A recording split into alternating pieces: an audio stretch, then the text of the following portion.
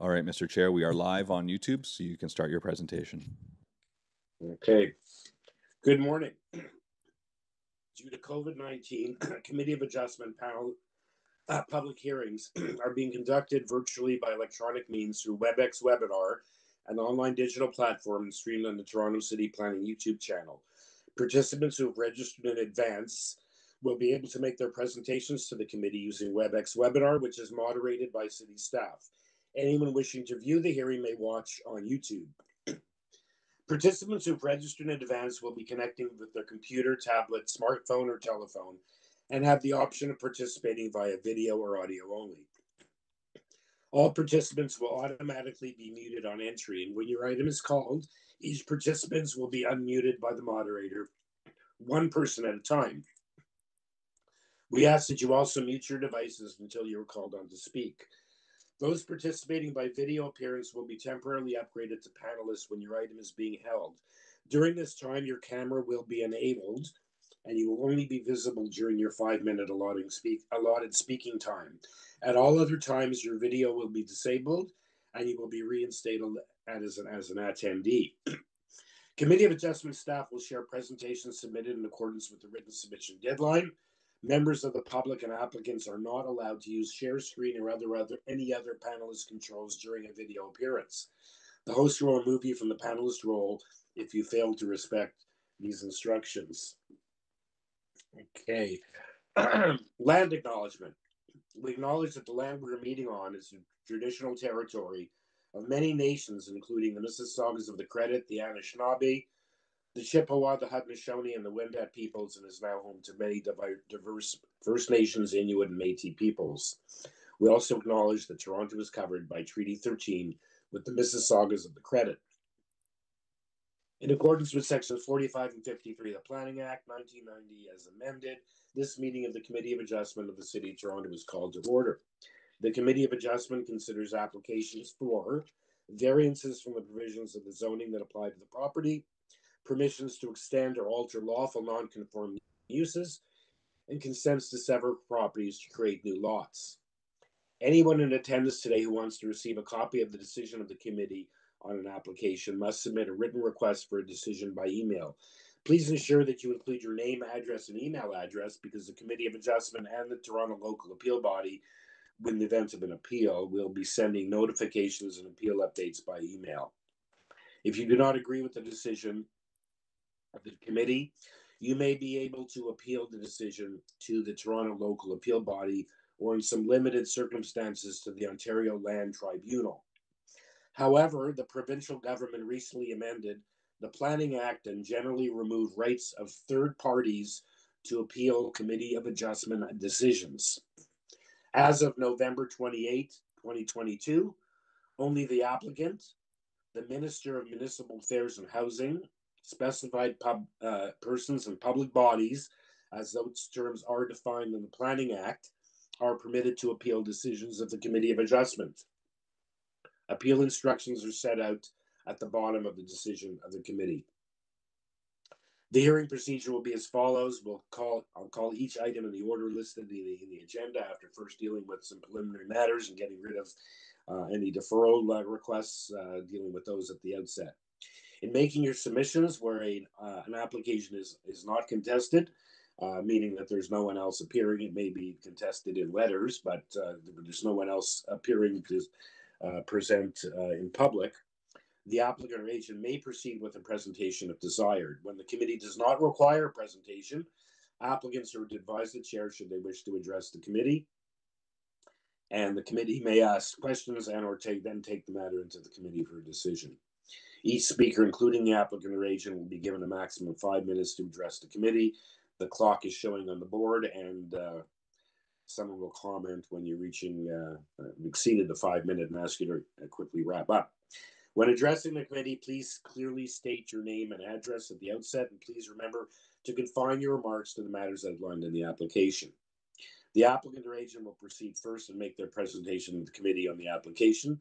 Please note that the committee may not entertain revisions to proposals made at the hearing today. The committee may decide to defer the application if being substantially revised in order to ensure that the revised application is accurate and that all those entitled to notice of the application have been informed of the changes.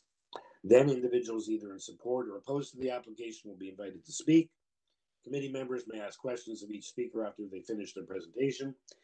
And when all speakers are finished, the applicant or agent has an opportunity to rebut only those issues and answer those questions that were raised by the speakers. That will then mark the end of the discussion, and the application is then taken into the committee for a decision. Okay, before we get started, uh, some business uh, items to take care of. Firstly, we have the confirmation of the minutes of the last meeting. Uh, the date of that meeting was November the staff 24th. 24th. Thank you. Can I have a motion to approve those minutes, please? Any bit of Bellissimo moves. Thank you. I see Laura Alderson's hand up to second that. Thank you. Uh, all in favor? And the motion, uh, the uh, motion carries. The minutes are approved. Uh, we have received a, a, copy of the schedule of hearing dates for uh, the year 2023. Uh, can I have a motion to approve those dates? Andy Bellissimo moves. Thank you. Mr. Taylor, I saw your hand up as seconder. All in favor? Okay, that motion is approved. Madam Secretary, are there any uh, files to be closed today? None today. Um, and just a note, if anyone is watching on YouTube, um, there appears to be a bandwidth issue. So I don't think you're seeing any video when we're on WebEx. The members are on video um, but their screen highlights in blue if they're speaking. We're trying to get that resolved, but um, just in case anyone's wondering. Sorry, go okay. ahead, Mr. Chair. No problem. Okay, so uh, we have our consolidated memo from planning uh, requesting deferrals. Uh, we have three items on that list, and they're all in the afternoon uh, session, and there's a couple other matters in the afternoon session. In the morning session, it looks like just in our review of the my review anyway of the application, we do have a couple of items. Uh, we have one uh, item number nine. We'll do first, where it looks like it's a request uh, from the applicant. Uh, we'll do for, and then it looks like uh, staff. We unless you want to do it, we have a. Um, think maybe that's it. Yeah, the rest are in the afternoon.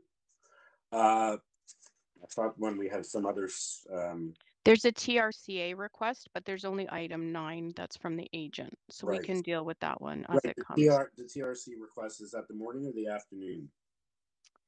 Um, and, uh, see that. Or we can, we number, number 24. Okay, so that's the afternoon. Okay, so we'll decide whether we deal with that at the outset of that hearing this afternoon. Okay, so in that case, uh, let's move, let's look at number nine, 46 Chartwell Road. Uh, the speaker for that is um, Mr. Gina uh, Zangiabati. And this is this is for a detached dwelling with an attached garage with eight variances. There's uh, a planning report uh, there's a presentation, but there's a planning report recommending uh, refusal for overdevelopment of the lot. And they advise they would like to keep working with the applicant. So I believe that in a subsequent email, Mr. Zinjabadi has agreed that he wishes to advise that he wishes to defer. Mr. Ginabadi? Uh, yes. Yes, oh. Mr. Chair. Thank you. Matthew says I'm I'm the agent. Okay, so you're uh, looking for a refusal to continue to work with community planning to make changes. And actually, in the additional materials, we did receive a revised notice um, with seven variances and six have been revised. But uh, notwithstanding that, you're still looking for the deferral? Uh, yes, because planning, uh, community planning said that they need time to review the revised notice and the revised drawings and as and they ask uh, for um, deferral. So we are um, willing to defer the application to uh, get both parties time to um, discuss the application further. Okay, thank you. Uh, members, any questions for Ms. Uh, Janjibati or is someone ready to weigh in with a motion to defer? Danny Bellissimo moves for deferral. Thank you, Mr. Bellissimo. Seconder for that. Laura Alderson, thank you. All in favor? Okay, the matter is unanimously deferred. Thank you. Uh, we'll see you back in the new year. Okay. Okay, in that case, I guess we can start with item number one. And that is two oh nine Alderbrae Avenue.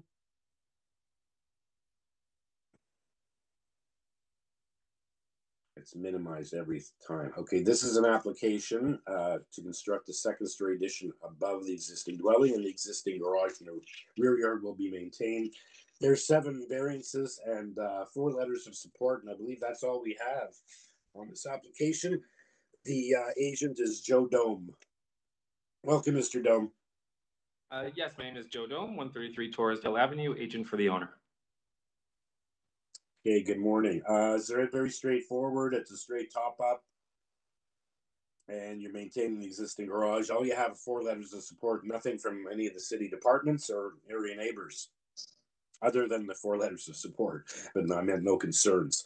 Uh, Anything you'd like to advise the committee of?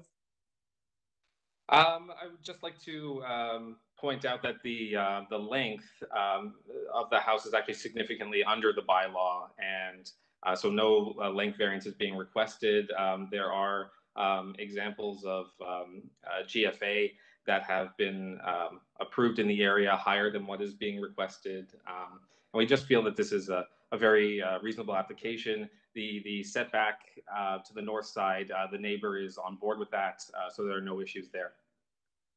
Okay, well, yeah, typically top ups are one of the more simpler applications. Yes. For uh, many, many questions for Mr. Dome members or someone ready for a motion? If no one has any questions, I'm happy to make that motion. Um, I believe this meets the four tests under the Planning Act and move for approval, subject to no conditions. This is great. Thank you, Ms. Alderson. Danny Second, Bellissimo seconds the motion. thank you. All in favor? Okay, it's, uh, I can't see everyone, but I assume it's unanimous. Okay, unanimous. Thank you very much. Thank you, Mr. Dome. Have a wonderful day. We'll have a happy new year. Um, item number two is three Kirk Bra- Bradden Road East. It's an application for a two-story rear and north side additions and a second-story addition above the existing dwelling. So a top-up plus an addition. There are, uh, eight, we have a revised agenda sheet highlighted for the agenda uh, showing, Jay, there were eight variances. There are now seven, two of those have been revised. We have the revised plans and zoning waiver. Transportation has advised that they are fine with the application. And we have a letter of support from two Bernice Avenue across the street, or I assume the rear. And we have Urban Forestry requesting condition number two. Speaker for this is um, Arshad Siddiqui, uh, as well as we have the I guess we have the uh, homeowner on the line, as well as we have an area resident from one forty-one Prince Edward Drive, south. Mr. So Chair, let's hear first. I'd like to bring to your attention, Yes. the area resident is present on the call, but did not communicate um, with me during the mic check. So with that being said, uh, maybe we do a quick mic check with them right now um, to make sure they're there. Good idea. Thank you. Yep. Area, area residents at 141 Prince Edward Drive. Go ahead with your microphone. Present. Present, thank you. Okay, we'll be back to you in uh, after we hear from the applicant. So it's good to know. Thank you, Adams. We need to know if someone is here as to how the applicant proceeds uh, with his presentation. Um, okay, uh, so Arshad Siddiqui. Uh, yes, good morning, Mr. Chair, committee member. This is Arshad Siddiqui, architect and authorized agent uh, for the property owner at 3 Kirk Bradden, um, Toby Cook.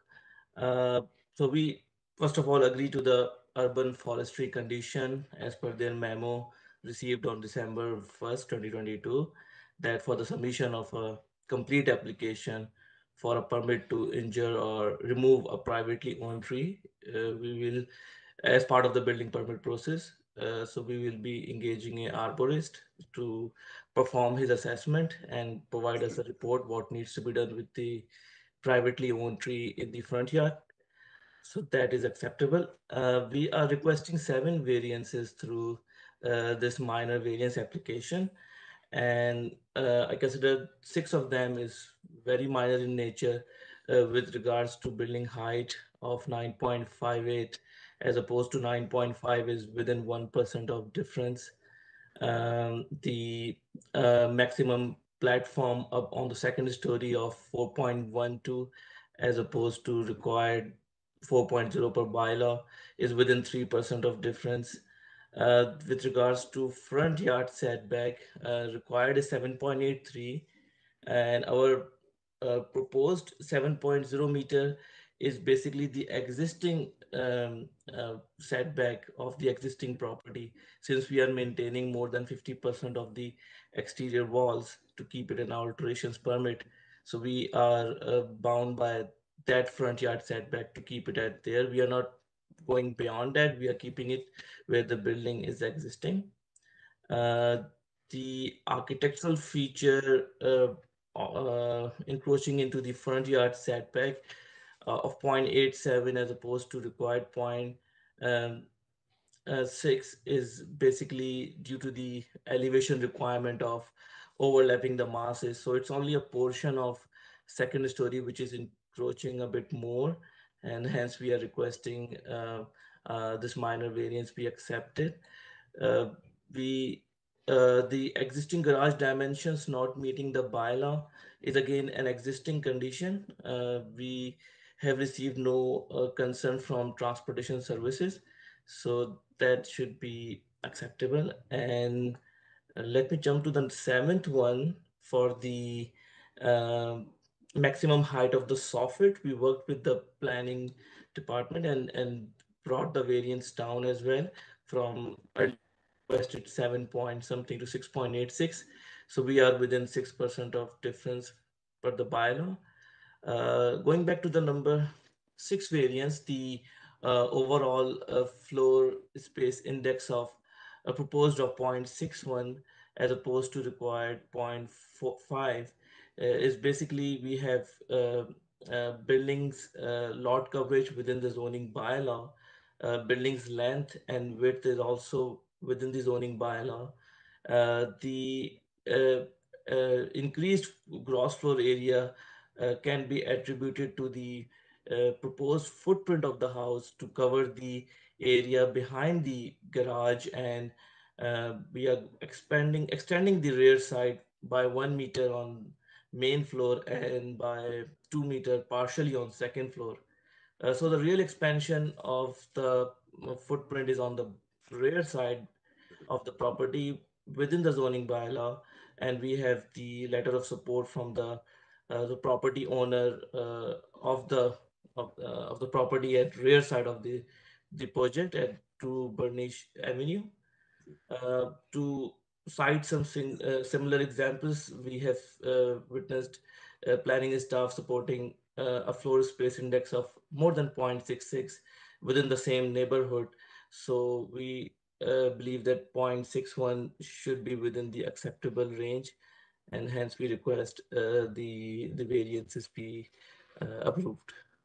Okay, thank you for your presentation, uh, Mr. Siddiqui. Um, before we get to the, does anyone have any questions for Mr. Siddiqui? Danny Bellissimo has a very quick question. Uh, the the architectural feature that's encroaching in the front is you didn't say exactly what that were. Are they the uh, gables and the, the surround around the top uh, floor? Uh, th these are just the uh, uh, modern bands around the the uh, second floor window. Right. So they're just coming out. Right? Yeah. So it's it's what you outline in your elevations in white and black. I see it.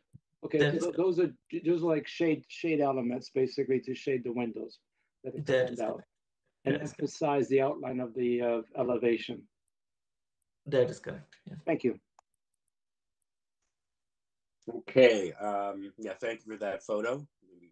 Actually, I was gonna say to leave up the photo, but actually, I would like you to put up uh, staff the um,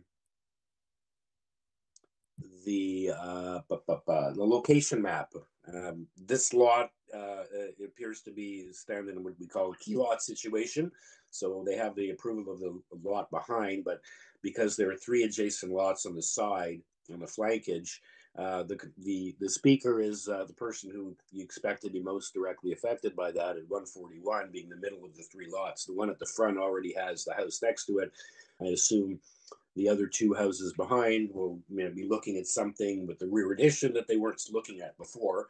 the question is, I guess, for the committee is uh, how that we only look at the amount in variance uh, in terms of the issue. So, just to put that in context, let's hear from uh, the neighbor. Is um, Alessandro Giramonte? Hello, good morning, Mr. Chair and committee. Good morning. So we've submitted seven photos that we. Sorry, just want to start off by stating, I know it's ridiculous. We have to state your name and address for the record when you start. No problem. Yeah, sorry about Thank you. that. So my name is Alessandro Monte. I'm here as well with Marin Yep. Mekabishvili. We're the owners at the property, uh, as you mentioned, on Prince Edward Drive, which is the Yep. center property there, one forty-one. Yep. So, um, if I have, we have a brief statement we'd like to read, if that's, if that's acceptable to the committee. Absolutely, absolutely. Okay, we've submitted seven photos that we will also refer to.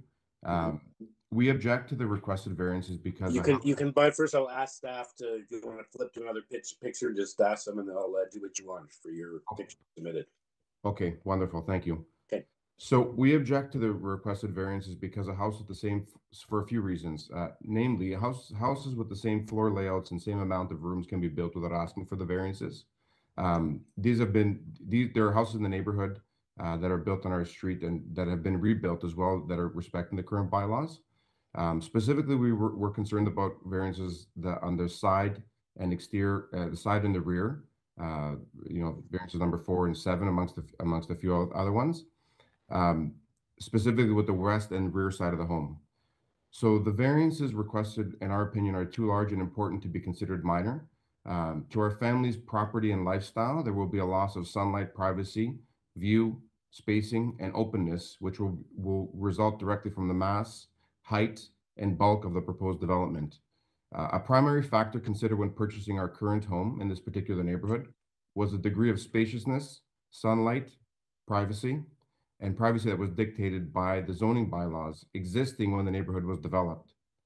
A higher purchase price and as well as higher annual taxes were paid for the enjoyment of these quali- qualities.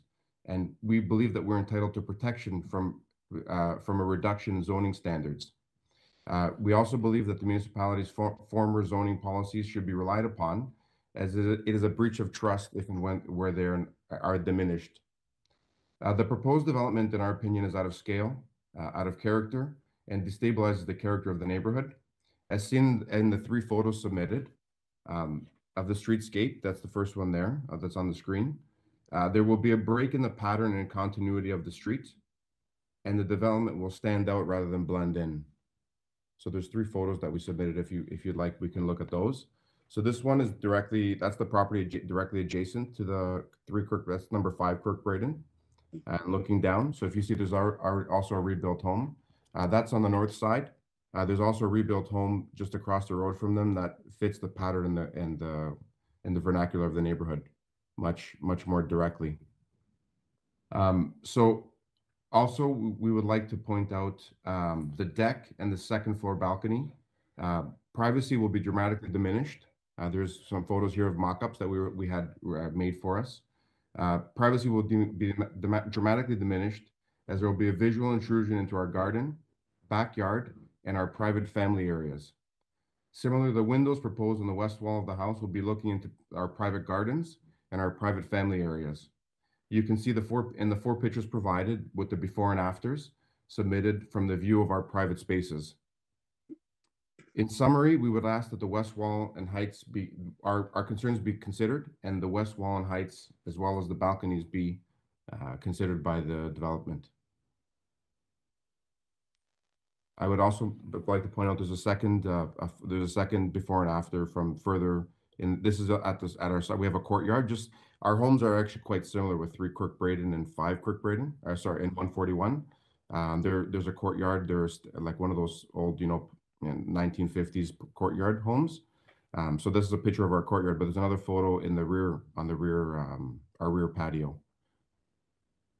And I would also, See the other photos that uh, the speaker is referring to? yeah. Uh, No, thank you.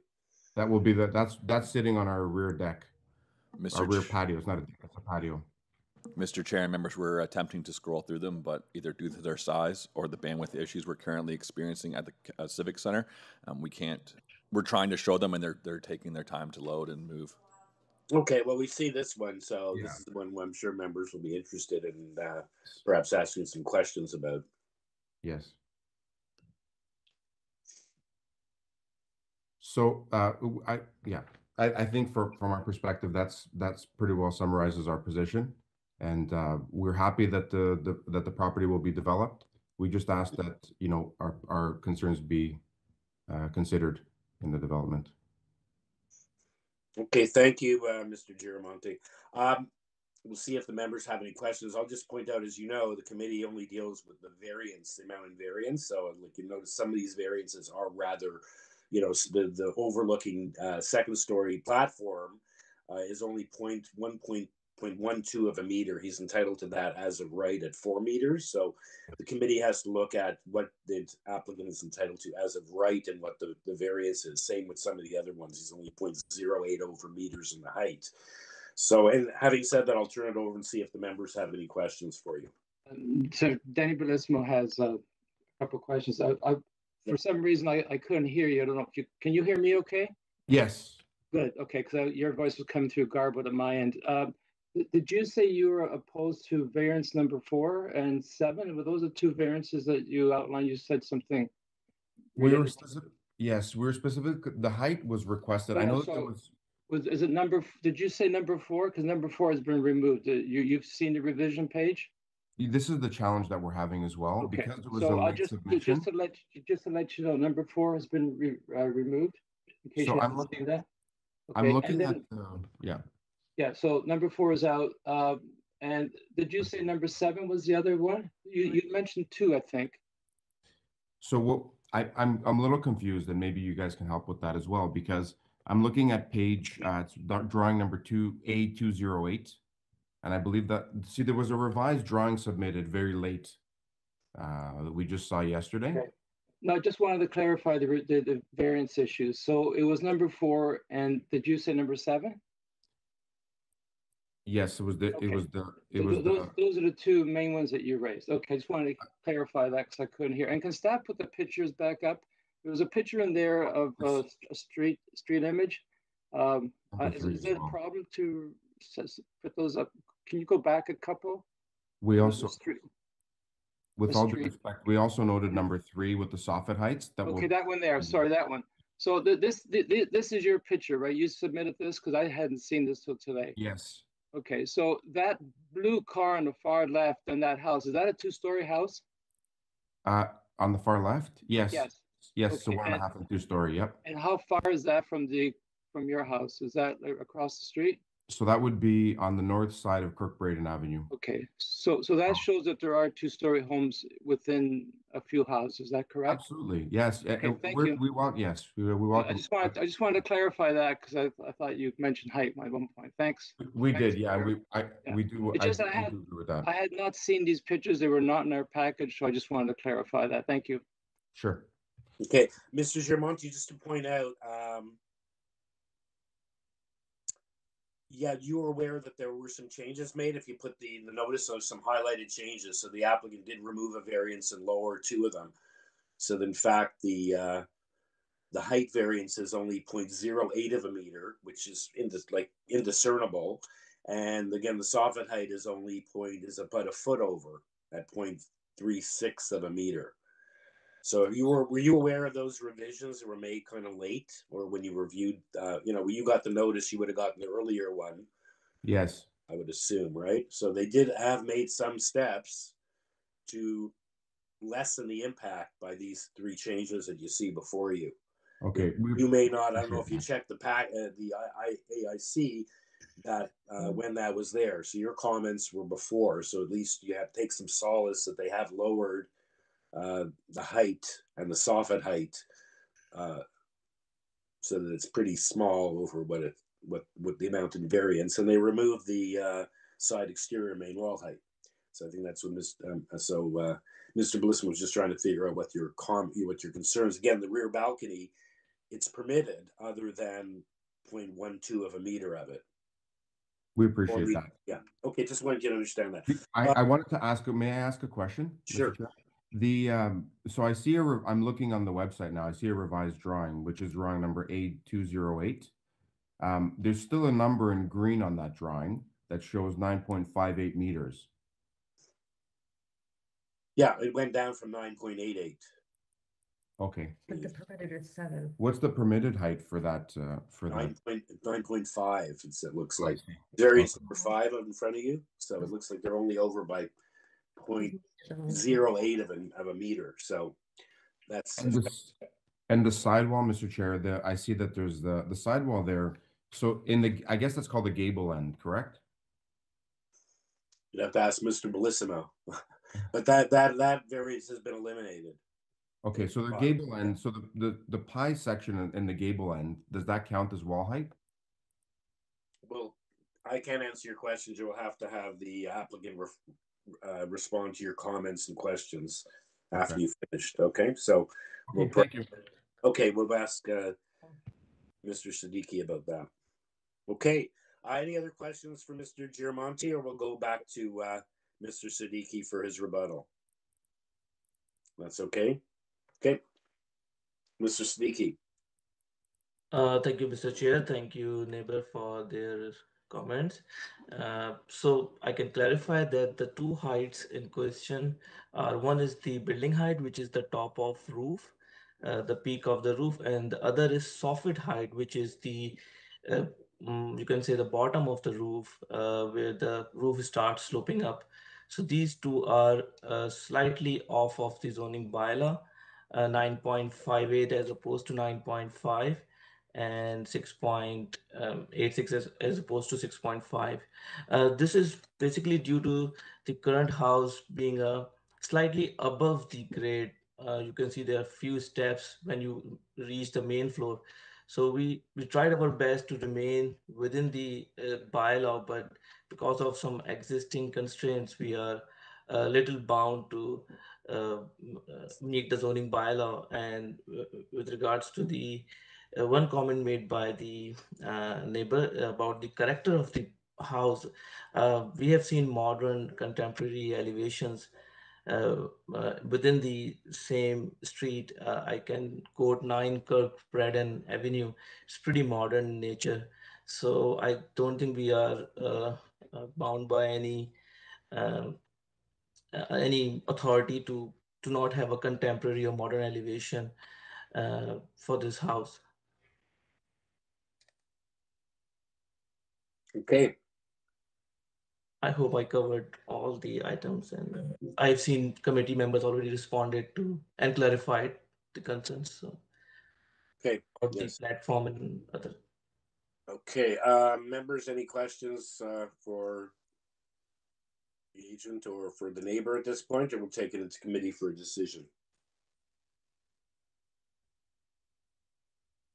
If there are no questions, Danny Bellissimo is ready to make some, a motion. Okay, go ahead, Dan.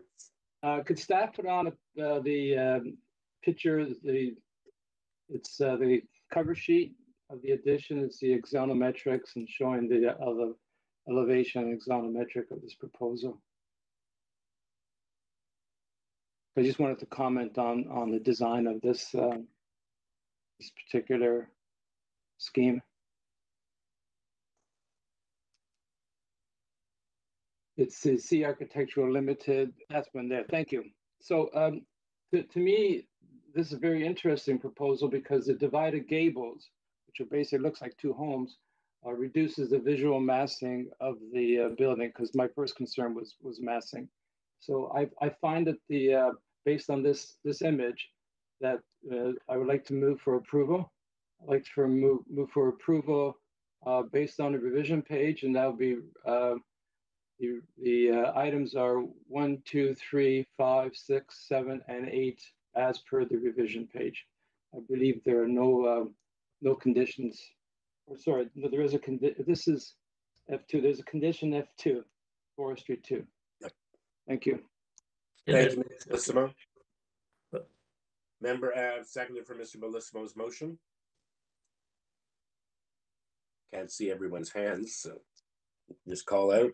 Just- Mr. Taylor, I'm happy to second. Taylor. I see Mr. Sorry. Taylor stand up. Yep, Mr. Taylor has got that. Yep. Okay, seconded that. Okay, all in favor? Uh, unanimous approval. Thank you to the applicant and thank you to the neighbor. Thank you, And, committee uh, members. Okay. Happy holidays. Next application is item number three. Very straightforward, simple application, one fifteen Symons Street. It's the removal of the existing raised patio and collapsing retaining wall and to construct a new concrete patio and a barrier-free ramp. There was only one variance, the uh, percentage of the rear yard landscaping, soft landscaping. And we have a copy of an order to comply from November thirtieth, twenty twenty-one a planning report for information where they don't object, and nine letters of support. That's all we have. And the speaker is Ryan Dunlop, uh, the agent for the applicant. Good morning, Mr. Dunlop. Good morning, uh, Ryan Dunlop, six hundred Fleet Street, and I'm the uh, agent for the homeowner. Okay, uh, as I said at the outset, pretty straightforward application. You have a positive planning report explaining the situation. Uh, do you like to like to add anything or let the committee know anything or uh, I, I, I think it's pretty, pretty straightforward, um, what we're trying to do. The homeowner has, uh, some mobility issues, so we're looking to, um, to put the, the ramp in for, to assist with that, so. Okay, this is cleans up that re- broken, re- falling apart the retaining wall as well. Um, so that's it. You're only deficient. Uh, looks like 36 square meters of rear landscaping. Um, was that the situation like that currently as well? It's not like you're making things substantially worse. What, what you're doing? Yeah, it, it, if anything, yeah, if, if anything, we're, we're improving, um, improving what was, you know, already there, so. Okay, thank you, Mr. Dunlop. Members, any questions for Mr. Dunlop or is someone ready for a motion? Uh, Danny Bellissimo is ready for a motion. if No further questions. Mr. Um, Mr. Chair, members, can, when you um, make your, your decision, can you all um, call out your decision? We can't see you guys in the chambers, so it's a little harder for us staff here to, to note. Thank you. Okay, I think the last, you were aware of the last application, and I believe it was Mr. Bellissimo's motion, seconded by Mr. Taylor. Thank you, Mr. Chair. Yep, we got last one. Make sure for the rest of them that we, uh, yeah, you, I can't see the, all the hands also, but I'll try to, uh, summarize that so you're aware for the minutes. To get it right. Okay. Okay, so do I think that we vote on that, or we just had? Sorry, I, I, I haven't made a motion yet. oh, you haven't made- Okay, Uh, so having designed many uh, ramps for wheelchair access to homes and commercial buildings, this is a very interesting scheme and uh, has very little impact on landscaping or actually improves the situation. So I'd like to move for approval um, of the variances, no, no conditions. Okay, thank And, you, I- and I'm happy to second that motion, Laura Alderson. thank you. All in favor? Approve. Unanimous. Unanimous, okay. Thank you, Mr. Dunlop. Okay, we'll move over to item number four. It's thirty Baywood. Baywood Road. And um it's an application to uh permit two personal service shops in unit seventeen and two, unit two twenty-four within the existing mixed-use building. There is one variance, the proposed personal service shop is not a permitted use in an E zone. And we have before us a cover letter. Um, the use is to a, uh, it's a tattoo, um, parlor, I guess. Uh, and the letter also outlines the other uses in the complex. Planning is looking for refusal or a two-year limit to vacate. Um, appears we'll perhaps get some clarification. It's, it's, so it seems like it's an existing use and it's a permission to vacate as opposed to a two-year trial period, which we sometimes see in these circumstances. Just wanted to clarify that that's what we're looking at here. And we only have the one speaker, Bill Edred, uh, agent for the applicant. Welcome, sir. Yes, good morning. Okay, so at the outset of your um, make your presentation, if you can let us know, is this an existing use um, based on my interpretation of what planning's looking for here, and why this uh, application is worthy of support? Okay, yes, I'd like to go through it, um, and I, I will Okay. explain that. Uh, the use uh, is an existing. Um, basically, it's one owner. Uh, on the lower level, it's Olivia uh, Beauty Room. So basically, it's uh, business that's doing uh, a number of things, including aesthetics. Um, just give you the short list: uh, laser hair removal, uh, hair restoration, anti-aging, and so forth, um, as well as tattoo removal. And interesting enough, Oh. on the second second floor, suite number two two four, um, the same ownership once again. Uh, it is existing. They are doing tattoos within a 65 meter squared area. So uh, it offers uh, obviously you can get your tattoo upstairs and then go downstairs have it removed if you like. But uh, um, basically, what it is is a, it's a it's a, personal service shop at the lower level uh, for the purposes of beauty treatments. Upper level tattoo. Once again, it is existing. Uh, they got a visit from um, bylaw uh, enforcement about a year ago or so asked to get a business license, of course, going through with the zoning cer- certificate, the personal service uses are not permitted. So maybe I should, I just go through uh, why I feel that Yeah, uh, the use Just, is, to clarify, so you, Yeah. is it just the, re- is it just, I, I say it wrong, is it just the removal of tattoos and all the other hair and laser and aesthetics? Um, or is it also for putting on the tattoos? Not that, I don't know whether that makes a difference or not. well, um, suite, suite two two four, which is on the second level, it's a small suite, six- 75 meters squared. That, that's a tattoo parlor. The first level, uh, a larger area, it's about 210, 220 meters squared. That's the beauty shop. Okay, is the beauty shop permitted also, or? They're both personal service They're uses. Personal personal service service. uses are not permitted in the, what they consider as the core employment area. Okay, so I just want to clarify, you do, it's both the tattoo, the small space on the second floor, and then as well as the The removal level, yes. of the tattoos, uh, if they change their mind, plus aesthetic type, uh, skincare and uh, electrolysis or laser or whatever. Yes, Okay, a- a- I'm a whole, Let a us, whole host of, a uh, whole host of things, so. yeah, let us know why you feel this should be permitted, and also, you know, a further summary is set out in your letter as to, I understand one units one and eight is a banquet hall, and what Yeah. the other uses are in this complex.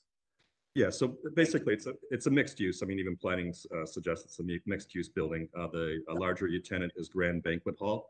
Uh, They occupy the, uh, the most space in the entire building. There's also a small appliance shop, a bakery, um, a Kenny's Cakes uh, store essentially. Um, There's a couple of minor offices up on the second floor, and there's also a barber shop. Um, this is core employment. Uh, I would consider the, this particular site more peripheral. Um, mean, it's basically located between the, uh, the cemetery and uh, residential to the, uh, the very east side. Um, there's a whole mix of uses along here. Uh, the, the committee is well aware that uh, I think the idea of core employment in a lot of these areas re- really is general, um, you know, employment. Uh, there's, a mixture of uses. Just for an example, um, as far as uses that aren't, I, I would not consider as core employment, uh, flea markets, the banquet halls, number of churches, a mosque, uh, there's car dealerships, other beauty uh, uh, shops and and, uh, and salons. Uh, what they consider the Albion shop shopping mall, with once again within an employment area that has a whole bunch of uses that I would not consider as employment, crematorium, cemeteries. So I think the whole idea of the core employment is, as they say, and it's an old provision in the um, City of Toronto bylaw, is to try and not bring um, you know people into the core employment areas. Yet, uh, you know, the majority, I would have to say, a, a, good majority, at least on Baywood and the street and behind uh, of the uses, seem to be uh, uses that I would not consider necessarily as employment. So, with a small use such as this, um, you know, once again, it's a mil- mixed-use building, smaller units. Um, you know, it, it- it's personal service by by any means. Uh, I would say is again could be considered as complementary uh, to a general employment area. Um, but uh, you know, it's it's bringing in uh, uh, people. It's you know, it's complementary to what what is you know very close a residential area just to the east. Um, minor use. I have no issue with it being considered as temporary to have um, you know, sort of a, a- period to just make sure that there's no issues pertaining to the use. Um, I sort of disagree with, uh, with planning's comment that, uh, you know, give a two-year appro- approval for the use to vacate the building. Uh, I really don't think a personal service use of this ma- magnitude, uh, um, is really, uh, any, anything that's considered adverse in an employment area. And, and in fact, I think it's complementary. Um, I mean, it's, uh, I would say desirable just in the fact that, it adds tenants and space that, had previously been vacated. Um, uh, you know, they get a business license, they pay their taxes like any other business. Uh, I, I really don't see any uh, adverse effects for this particular use in this uh, location. I asked for the committee to consider approving it, but I'd like to see if we can get more than a two-year period. Yeah, uh, thank you. Yeah, the two-year period, like I said, is was different than most. Usually, when you see with the patio in a restaurant or some use, they're doing it for a trial period. But here, how long has it been there? Uh, you aware how long they've been there thus far? I think they moved in in 2021, and then last year, last January, by law enforcement caught up with them. Yeah, okay. So I just pulling looking at the planning report, and it says in there, according to policy four point six point two, uh, it goes on to say the quote from the uh, policy is uses that would attract the general public into the interior of employment lands and possibly disrupt industrial operations are generally not permitted in core employment areas. I would certainly agree with that if you have some heavy, uh, you know, um some heavy use or disruptive use, and then someone comes in for something more uh, personal service, and then they're complaining about the noise or the smell or you know the danger of coming onto the site or passing through the site. Here, what I appear, appear to hear is that most of the other uses do the same thing. They do attract the public. Uh, it talks about the wider area that if you have a big industrial area like you know Weston Steeles area I'm familiar with, you do have small restaurants to service those people, so they have somewhere to eat they can do their banking or whatever. But this seems to me that this particular plaza is basically that's what they're doing. They're bringing the public in. Yeah, and, and, and indeed, uh, many other of the buildings uh, nearby are doing the same thing. As I said, with the flea market. Okay, let's see. Uh, what. Let's see if some of the other members have Sure. any questions or comments. I actually do have a question of the applicant, if I could.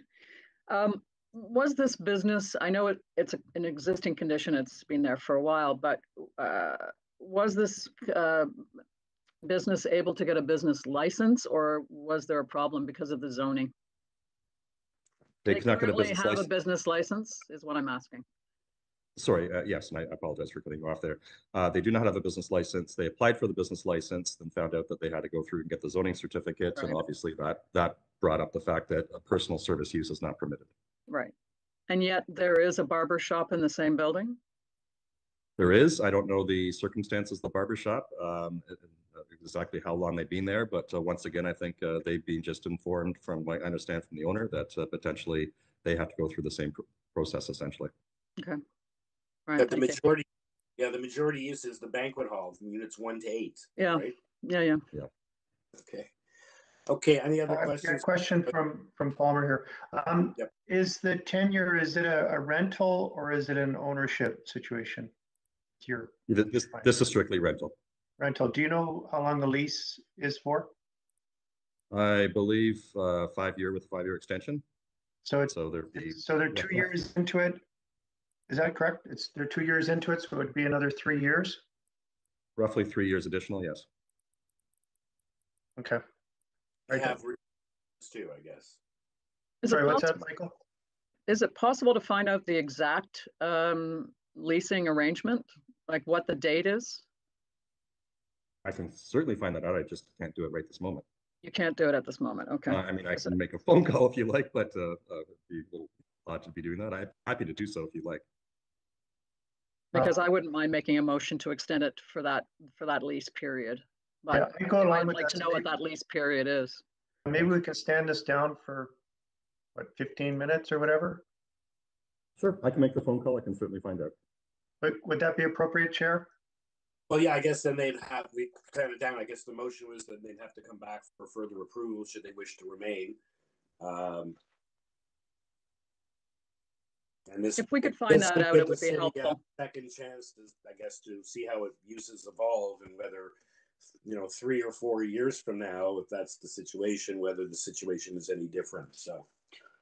Or Uh, I can. I guess I we can hand it down and find out when the lease expiry date is, if that's what uh, the members. I think it would like. be helpful, yes. Okay, Yep, that, that's fine. I'm, I'm happy to make the phone call and uh, I'll, I'll, I'll be here for the, uh, when it comes back, but uh, give me five minutes, fifteen minutes. Okay. Thank you.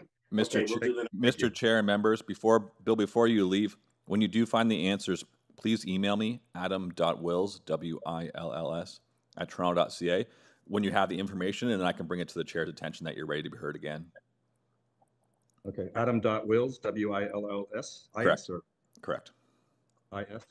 or Correct. I F? W-I-L-L-S, Okay, I'll correct, leave- yep. All right, talk soon. Thank you. Okay, let's move over to item number five then, uh, thirty-two Gracefield Avenue. It's an application to construct a second story addition above the existing dwelling, so a top up. We have three variances. And, um, we have some supporting material, an arborist report, transportation has no concerns, ravines and natural feature protection have no comment, and TRCA have no objection. And that's all we have. The speaker is Paul DeCuna. Good morning, Mr. Chair, members of the committee. My name is Paul DeCuna, architect and agent for this project. Okay. Uh, very straightforward. I don't believe we need a presentation for it, uh, unless uh, some of the members would like. We have three variances. Perhaps, don't know if you'd like to give a brief introduction on this top up, uh, or I'll see if anyone has any questions. Mr. Chair, uh, uh, Yes. are you asking me to make a, a, pre- a presentation or just a No? I'm saying I don't believe we need one. Oh, but if- What would you like to, you know, it's up to you, and if you'd like to advise, uh, just advise, uh, you know, uh, the committee of anything. No, I, I, I think we've, we've uh, been through a fairly lengthy process with TRCA and they've, they've been very happy with, uh, with the uh, proposal and you're, as you've stated, they have no objection. The city, uh, the municipality itself has had no objection. We've made, uh, we've submitted a presentation that we would have been very happy to go through today. Um, But if you feel that's not required, then I think we're, we're fine as well. We feel that That, the that you back onto this uh, ravine at uh, uh, near Keele Street. I'm familiar with the area. Um, anyone have any questions for Mr. DeCuna?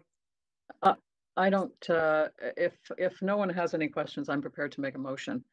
Uh, You're aware of the TRCA review fee, I'm sure. There's a review fee for this application. Um, uh, But I don't think there's anything from any other city department, so I'm prepared to uh, make a motion for approval. I believe this meets the four tests and um, move for approval subject to nothing, to no conditions. Thank you. Danny Second, Bellissimo seconds the motion. okay, thank you, Danny. All in favor? And I s- see unanimous. Thank you. Thank you, Thank sir. you, members. Uh, Thank you, Mr. Chair, okay. members of the committee. Okay. Two. Okay, uh, item number six is two twenty-three Edenbridge Drive. And, uh, it's an application for a second story addition above the existing dwelling, a front porch and a rear yard deck. There are four variances. And we have, uh, no comment from Ravines. Planning has conditions of approval. Um, the bird-friendly window treatment and dark sky compliant light fixture condition that we uh, will see a few times today. Any additional materials? Uh, we have TRCA weighing in, advising they have no objection, but advising, uh, as in the last app, a permit is required. And that's all we have. The speaker is Eddie Perez. Hello, uh, good morning, uh, Chairman and committee members. Uh, Eddie morning, Perez, Perez. designer and uh, agent for the owner. Good morning, sir. Uh, your your client is okay with the uh, conditions of approval from community planning. Yeah, we're okay with that. Okay, uh, let's see if members have any questions for you. Very straightforward application. Danny, but this was a quick question, then ready for a motion if there are no further questions. Uh, Mr. Perez, number two thirty-five, the building, that is, that's a large residential building as well, has a funny odd shape.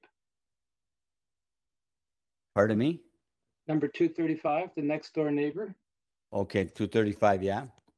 is, is that a residential house with a big, it looks like a hammerhead type of layout?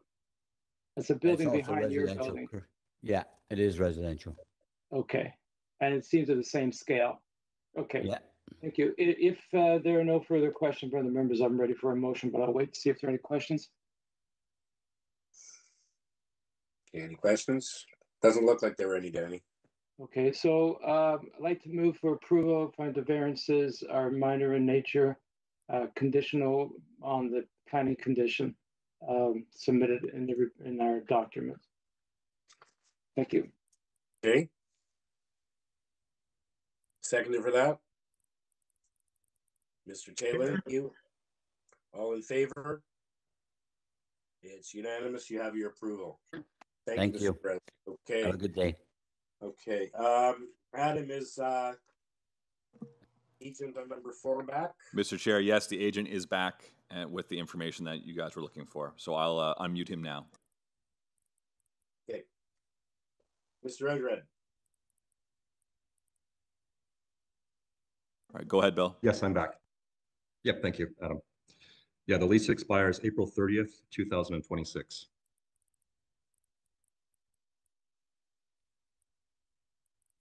Okay, thank you for that. Um, members, uh, any further questions or someone ready to weigh in with, uh, the motion that they were uh, thinking of? I would be prepared to make a motion uh, to approve this uh, variance application for that duration, for, uh, to, to extend, instead of a two-year period, to extend it until the end of that lease period. So that is April 2026. What was the actual April date? Sorry, April thirtieth, two thousand and twenty-six. So I would be prepared to make that motion to approve the variance uh, uh, based on that, on that date. So just until that date. Okay, so a time limited approval, which, uh, Time limited approval ending on that date, yes. Okay. you have a second? Mr. Palmer. Okay, all in favor? And I, and I hope this helps getting a business license. I hope this helps them to get Mis- one. Mr. Taylor, you're opposed? Sorry. Sorry? Yes, I am. Yeah, you would have Do you- preferred do you need- Does anybody want an explanation or just? Yes, we'll just- yes, yes. Sure, I'd like to hear it. Okay, um, I believe that this is not a core, core employment area and never will be. I think it's a fairly new mall. It's actually two on either side of a very large parking lot. I think it's, uh, the destiny of this area is what it is. It's, it is service shops. I went up and down the mall and I saw the barber shop and the bakery. And I just, I just, I don't feel comfortable, um, forcing this small business to kind of be the trigger point for this municipal comprehensive review process. Um, you know, I think if the city wants to do a municipal comprehensive review process, says redesignate this land, evict all the tenants, that, that should be their responsibility. I, I just, I just don't think we should be So you- this, this small Do you business. think this should, do you think this should be a rezoning application? No, I think, I think this should be allowed and the onus should be on the city to do whatever they want, OP and zoning wise. I would certainly Not, agree. not force these small businesses to, uh, Yeah, I don't think we. to make- Initiate it? To make this guy come back in five, for, in, in April twenty twenty-six, to, to pay another fee and have it extended. And even it's, that's not even, you know, I don't understand why community planning was against this, but I have a lot of experience dealing with these mixed-use plazas, and that's the way things have evolved. Um, and, and if you look at the existing, so why pick on this guy? That's, if you read the quote that I read out, it's because to avoid the convergence of industrial and retail and industrial and personal service, that it's not compatible, which they're right, but this, not at this property. There's no So or any. I can withdraw my motion and I could, I could entertain another motion for Mr. Yeah. Taylor if he would like to make that motion. Yes, if you're prepared to do that, that is certainly. Well, hold on, we've, we've already had a motion and a seconder. And we did have a vote and the only person opposed was Don Taylor. Well, I was opposed too. Okay, but I- it's still carried. Uh, I don't see the harm in, uh, you know, Mr. Mr. Taylor's brought this to the attention. He actually did a site visit. I was, you know, trying to find out what the other uses were, but when you read the wording, it just doesn't make sense. So I'm not, I'm Oh. not able to withdraw my motion then. We have to vote on it, so you open up the vote. Once I open up the vote, it's too late. We Madam had a Sec- vote. Yeah. We had a vote. Yeah, no, I realize that. Okay. Okay, if that's the rule, so the motion carries three to two. The application is for a time limited period with Michael Clark and Donald Taylor uh, dissenting, but clearly dissenting not because they wanted to refuse, because they wanted it permanent. If that can be explained in the minutes, I guess, for the the committee down down the road in 2026, they'll probably have to make that ahead of time to make sure they, and they do have renewal options, I would imagine as well, which I believe Mr. Ogred did mention. Okay, so uh, that's that that ends that. Okay, thank you very much. Okay, thank you.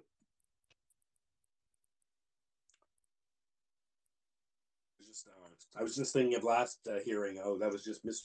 Kamarick uh, change, brought a motion. The motion was defeated, and then he changed his vote. But that's a different situation, I guess. Okay, it was a different motion because his motion didn't carry. Okay, uh, okay. Our next application is, I guess, uh, sort of uh, probably longest one of the entire day. And then perhaps we'll take a break after that. So it's item number seven, 18 Villa Road.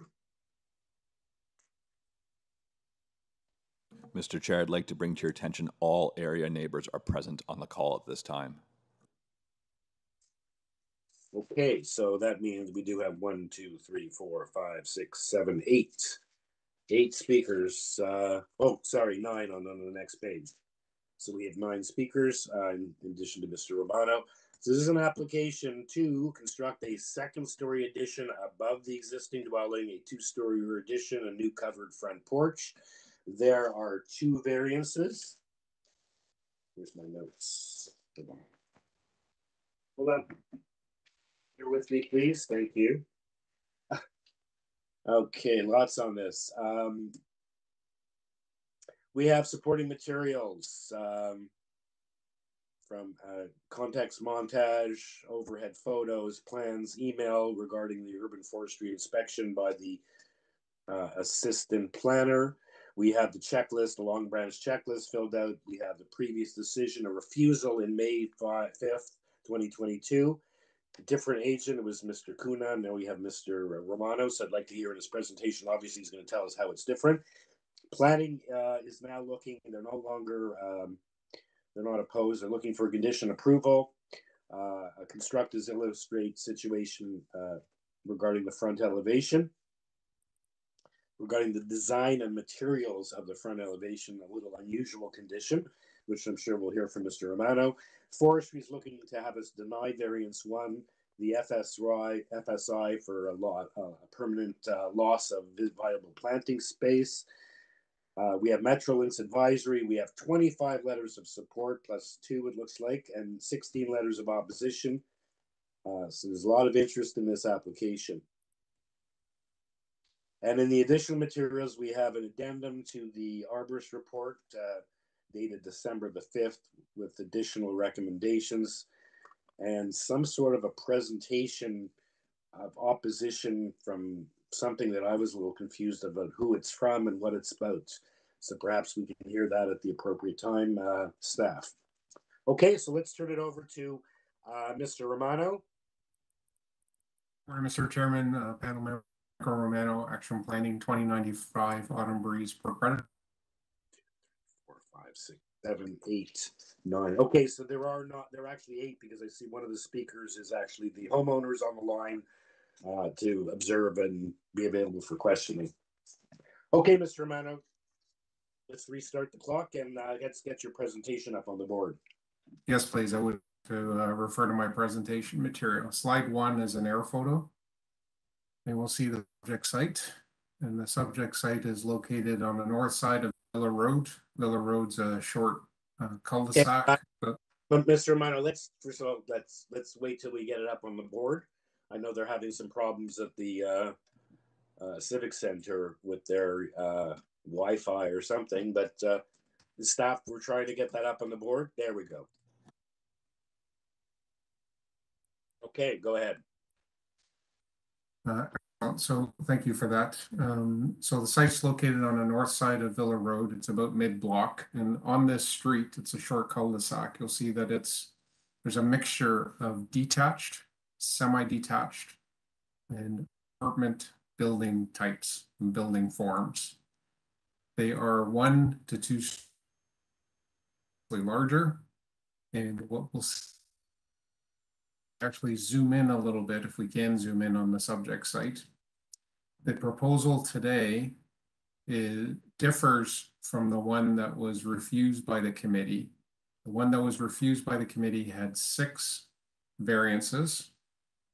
Both side yard setbacks were a variance, uh, and there were a number of other variances. The proposal for this panel today is for a shorter building not only in it is shorter in height It is shorter in wall height. It is for a building that has a west side yard setback that is zoning bylaw compliant. The two variances that are in front of this panel are for floor space index and for an east side yard setback. The east side yard setback is on the right-hand side of this uh, property. What you will see on this air photo are two white lines on the subject property. The front of the building that is currently existing is being uh, demolished. There is a front part of the building, it's basically an enclosed porch. It was done sometime after the building was constructed. That is being demolished. So there is actually a larger front yard landscaped and open space area that is being proposed as part of this application. So that is contrary to urban forestry's interpretation, which is that there is a reduction in front yard uh, viable planting space. There's actually an increase. To the rear, you'll see that the white line is shorter than the building to the east and obviously longer than what exists and longer than what's next door. But there is a cedar, a white cedar hedge that are that is referred to as trees, and some people, including the neighbor to the west, are, are trying to get it identified as historic. Those cedar hedges are not on the subject property. Those cedar hedges are not being removed. The proposed building addition would have a west side yard setback that is zoning bylaw compliant and would have a, uh, a distance to their, um, to the trunk of those cedars of 83 centimeters and larger. So there is no um, there's obviously going to be an injury, but the injury in the arborist report says that it is acceptable. And I can speak more to that perhaps um, after some other person speak. On the second page, thank you, you'll see that there's an eclectic mixture of dwellings, of residential buildings. And these buildings range from one to two stories. And we will see in the lower left-hand side, the front elevation for the proposal it is at 8.49 meter building height. So that is shorter than those two buildings right beside the front elevation, which are 8.8 meters. The proposed build, building elevation has a wall height of 5.99 meters. Those two buildings next to it in the lower left have wall heights of 7.53 meters. So those are larger buildings. Those buildings have floor space indices of 0.59 and 0.61, and they are duplexes and triplexes in a detached dwelling built form. If we look at the subject site, the upper right, number 18, we'll see that there is no parking on the subject property. The, par the parking that's, that's provided for this property is basically on a right of way and overlaps the neighboring building at number 16. So the proposal is to have a private driveway, take parking off of other people's properties, take parking off of the street. The driveway and the parking would be fully zoning bylaw compliant. The neighbor to the east, number 16, and nine people, nine residents on Villa Road support this application. We move to the next slide. We'll see that there's been some changes, and I'll speak to this a little more later because I'm running out of time. But if we move to the uh, to the site plan at slide number four, you will see that there are three colors on this site plan. The in yellow, the existing building of one story is to remain. In blue or purple, that is where the top up is proposed. And then in gray, that is where the rear addition is proposed. So we'll see the to the, at the top, that's the west side yard. That is zoning bylaw compliant. And we'll see in the front, the landscaping, both in the boulevard and on private property. And there is more there than what I'm showing in the survey excerpt in the upper left. So there's actually more front yard landscaping. And there is no existing city tree. There is no existing on-site uh, private tree that's being impacted. So subject to any questions, I submit that the two variances are uh, acceptable, appropriate, and should be approved.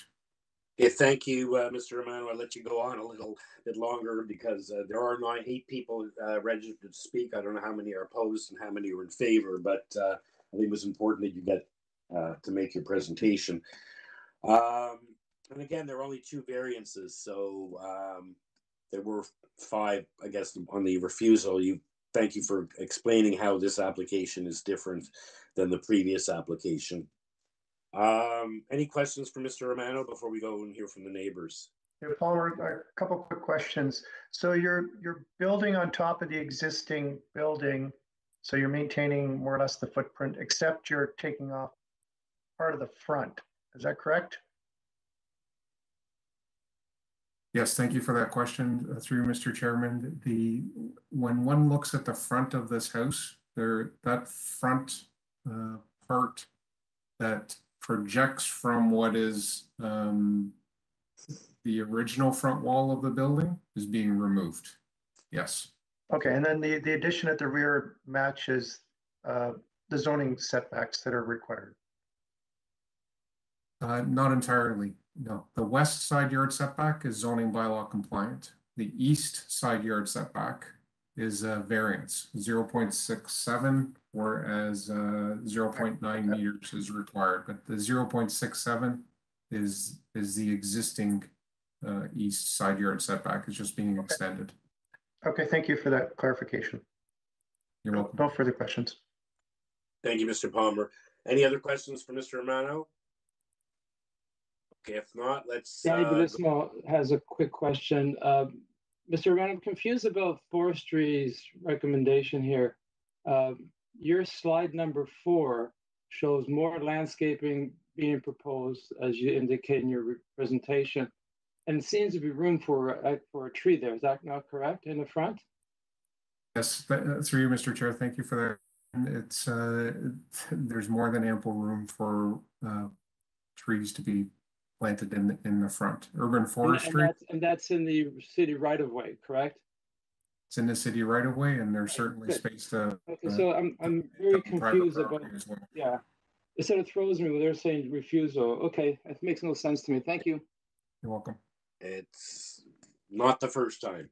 Um, it won't be the last. Okay, so let's hear from the, the first neighbor up on the list, and we'll hear in the order listed, except we will, as an accommodation to the, uh, our friends at the Long Branch uh, Neighborhood Association, we'll let Mr. Scholl's uh, bat clean up and go last.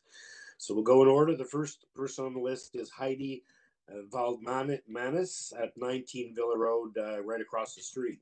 Mr. Chair, I'd like to let Heidi know that she's been bumped as to, into a panelist section, so she is able to turn on her video camera. And she did note she wanted to be on video today.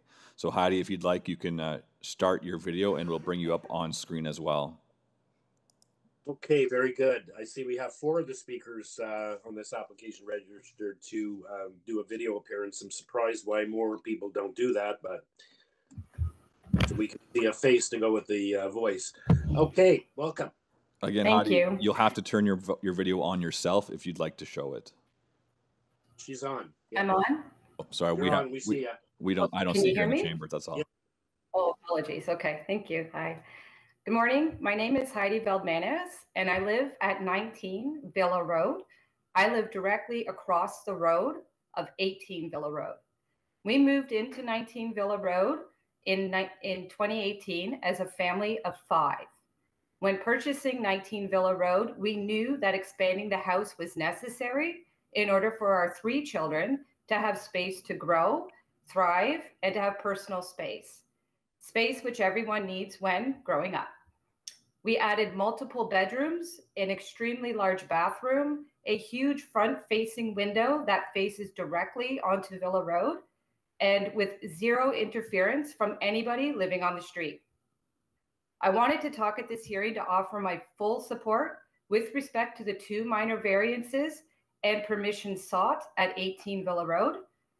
Since we live directly across the street from 18 Villa, we are direct stakeholders in this application and would like to make our support of this application known to the committee. After receiving the particular notice, I spoke to the owners about my support of their proposal.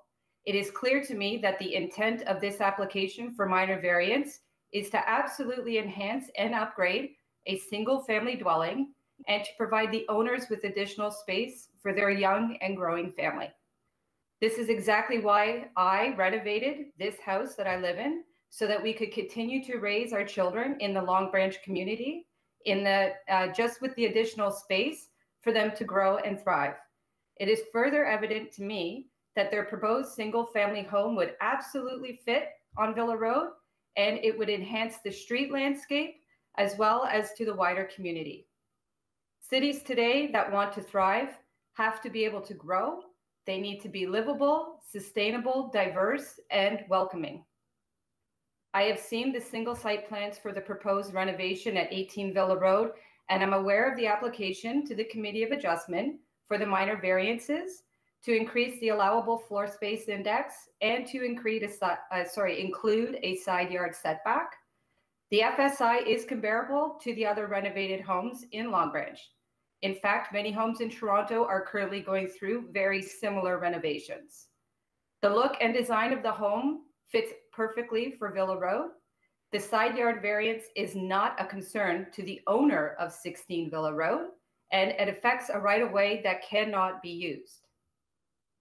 I understand that there are objections related to a cedar hedge line on the neighboring property, which is also directly in front of my house.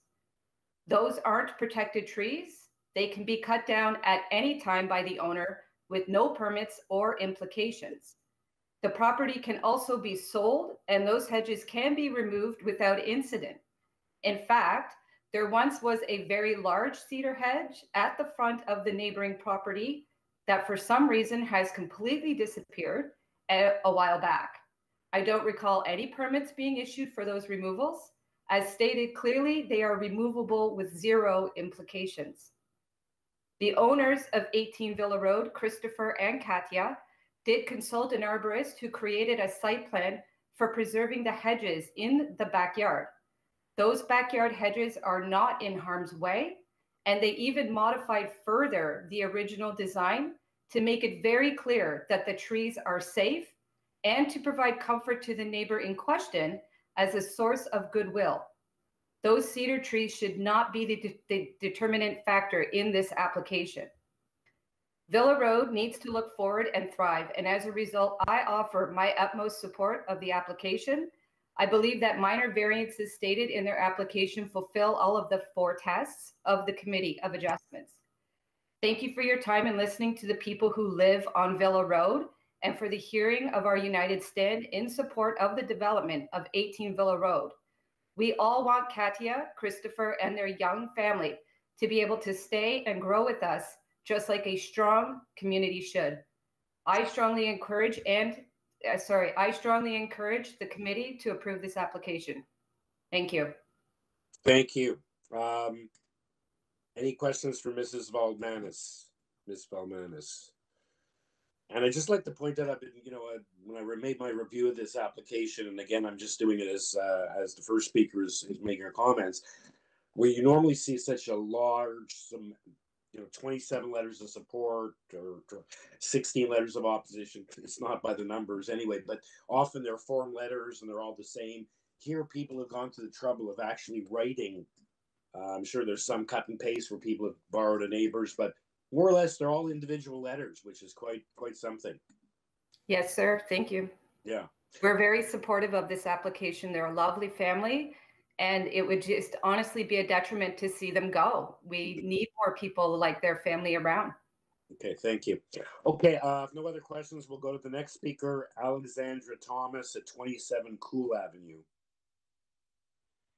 It says not an area residence, so we'll perhaps hear what Alexandra's interest in this application is and where she lives in relation to the property. Good morning. Can you hear me? Yes. Thank you. Um, Hello, I am the mother of Katya Texera and a longtime Etobicoke resident.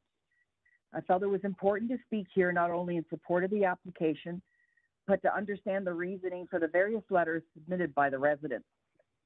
The good news is that there is tremendous support for this application, most importantly by the direct neighbors on Villa. As you can see, there is support from 10 neighbors who live on Villa, one on Branch, which backs onto Villa. These are the people most impacted by the application. They're the ones that live there, see the benefit of this renovation means to the street, and their voices need to be heard. There are also 16 others supporting who live in Long Branch and areas close to Long Branch. They reached out and understand that this application reduces the variances down to two and that the variances be considered minor because they truly are. The increased FSI is no more than what is happening in other neighborhoods, including mine. The side variance on the east side of the way is really not valid because it is fully accepted by 16 Villa Road.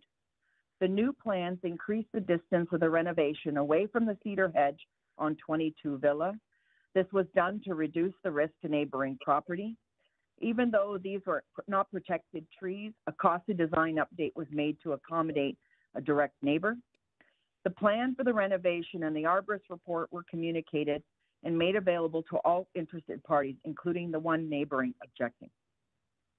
Even though all plans, survey, and arborist reports were shared with the neighborhood, we were surprised to find that 22 Villa owner entered a last minute arborist report as a letter of objection on December 1st. This was a report from Jack Radicki written back in July 5th and not shared with anyone.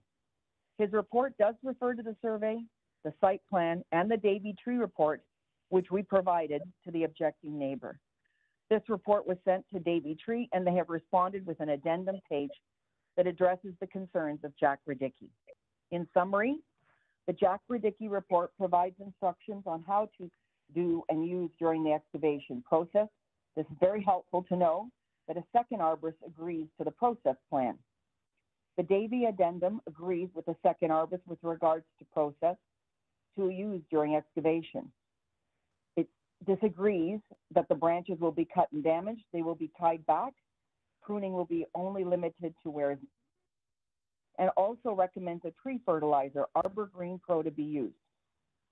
What is disputed is the picture from 1949 showing a tree in the backyard. That tree is not the cedar hedge that's currently there. In fact, that tree was likely a tree that had been previously cut down and existed between the property lines. A tree stump is still there today. Overhead pictures confirm this because there are no hedges visible on the east or west side of the property. Claims about tree heritage are highly questionable.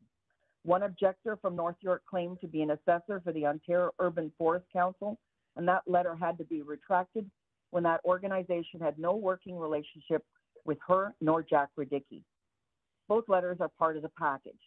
It's further interesting that heritage status is claimed only for the hedge adjacent to 18 Villa, while ignoring claims for the same cedars on the west side of the property, nor the 60 centimeter majestic maple at the rear of their property. What is clear is that the renovation can proceed now that we have a pathway that protects adjacent properties. The heater, cedar hedge is not city protected, but as a concession, plans were changed to accommodate the neighbor. There were four documents entered as letters of objection directly from 22 Villa. We fully respect credible comments about the renovation, but personal comments have no place in planning applications. All plans have been fully shared with the objecting neighbor while she kept back the second arborist report. We quickly informed Davey Tree, who created an addendum to the original arborist report. Katya and Christopher have been very open, respectful, and communicative clearly all their intentions. This is evidenced by the overwhelming support shown to them, which they are very thankful for. A street came together to support a family. Other objectors were the Long Branch Association, two letters who evidently don't really represent the neighborhood. The rest of objectors who live far from Long Branch are not stakeholders. Some of those letters coincidentally had exact word for word sentences and referenced the previous Ward 3 councillor. We even had a letter from the previous owner of 18 Villa who left in 2017 and now lives in Leamington, Ontario.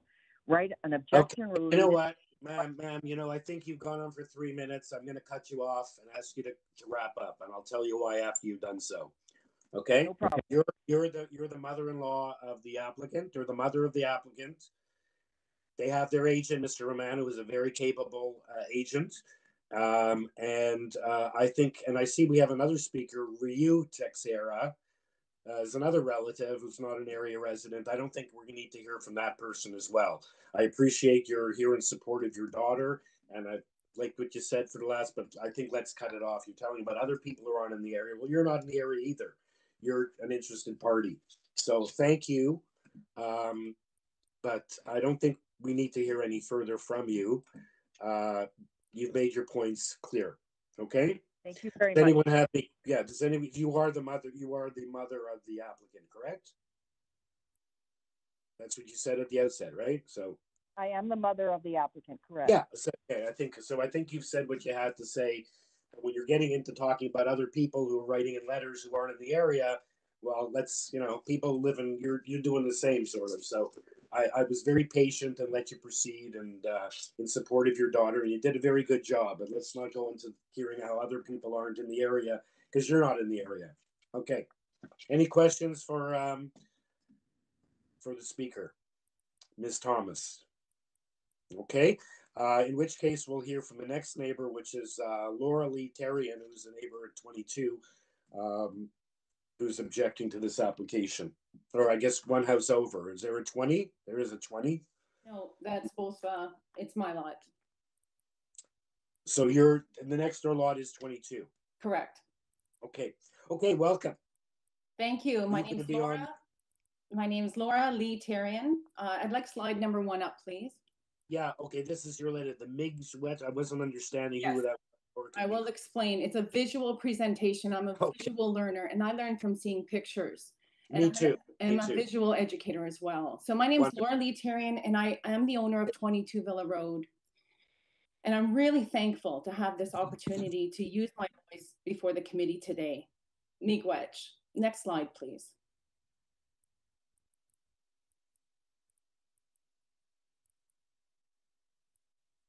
As a reminder, our internet is running a bit slower here at the office, so please continue along. Thank you. To give voice is one of the most powerful expressions of being that exists. Next slide, please. Public speaking is one of the most feared things by humans, and this fear can be so powerful that it can inhibit a person's ability to hear, act, or speak effectively to exercise their rights. Next slide, please. If you add speaking about complex municipal process, building principles, case precedents, new bills introduced during the notice period that revoked anyone's ability to appeal decision except the applicants. This experience is overwhelming.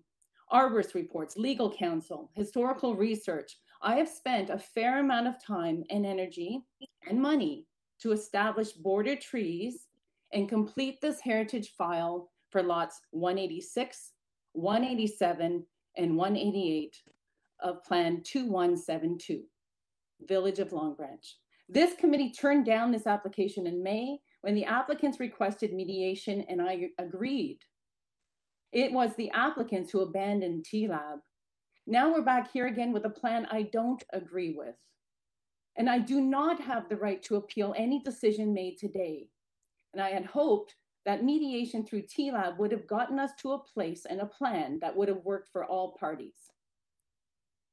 Why do these applicants continue to omit simple tree diagrams from their building plans? Diagrams on the plans could have provided context and clarification regarding their intent to injure these heritage border trees. Next slide, please.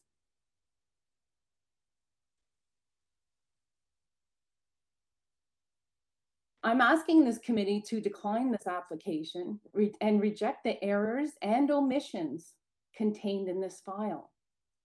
Next slide, please. I am the 100% owner of these lands. I do not consent to any injury at all to these trees, and I'm asking this committee to decline this application and allow me to return to quiet title of my property. Next slide, please. Every evening I sit by these trees in my studio and there is life. It is a studio that Percy Durrance built as his carpentry shop, where he cut the lumber to build many of the homes on Villa Road, including 13, 16, and 21. This is where the Durrance's grandchildren played and watched Grandpa build houses, and they chased the chickens. If you were here when Long Branch Dominion was open, you would have found Orma Durrance standing behind the deli counter, serving customers with a smile, a wisecracker too. I am grateful that I can honor the memory of my feisty friend, Orma, and the Durant Stevenson families by regaling the stories of what Long Branch used to be like all those years ago by preserving this stand of trees. It is for this and many other reasons that I'm asking this committee to decline this application today and protect this heritage. It has been more than 23 years that these trees have now intertwined with my legacy. Like family, these trees contribute to my life in ways that I cannot possibly describe. It would be like describing the taste of a peach to someone who's never experienced a peach. I could say it's juicy, I could say it's fuzzy, maybe it feels a bit like a mango, but I will never truly convey the experience of the taste of a peach until you've eaten a peach yourself. These trees contribute to our health and well being as an integral part of life itself.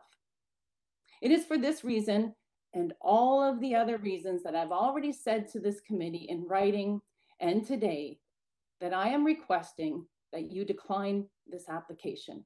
Chi-miigwech, thank you very much. Thank you, Ms. Sharon. Uh, anyone have any questions for the speaker? Okay, if not, we'll go on to, I guess Mr. Scholes is next. We'll put Mr. Scholes at the end. So next speaker is Karen Bennett at 16 Villa Road, right next door on the other side. Mr. Chair, members, uh, Karen has asked to be on video, so I'm going to move them over to make them a panelist now. Karen, if you'd like, you have the opportunity now to engage your camera. You'll have to do that on your own by clicking the Start Video button. All right, you are unmuted. Thank you. Good morning. My name is Karen Bennett. I live at 16 Villa Road, the property on the east side of 18 Villa Road. I share a right of way with 18 Villa and access my backyard by way of the shared right of way. As the neighbor that will be most impacted by this project, it is important the committee understand my full and complete support of this proposal. This proposal is to build a home that better meets the needs of a young family. It is a modest home consistent in style to other Long Branch homes with square footage of approximately 1,932 square feet. This is not a monster home. The proposal is no bigger than many two-story homes on this street and every other street of the Long Branch neighborhood. It stands to reason that every family and every property has a history. That's inevitable. It's not pertinent to the decision at hand. Everyone deserves respect and equal opportunity.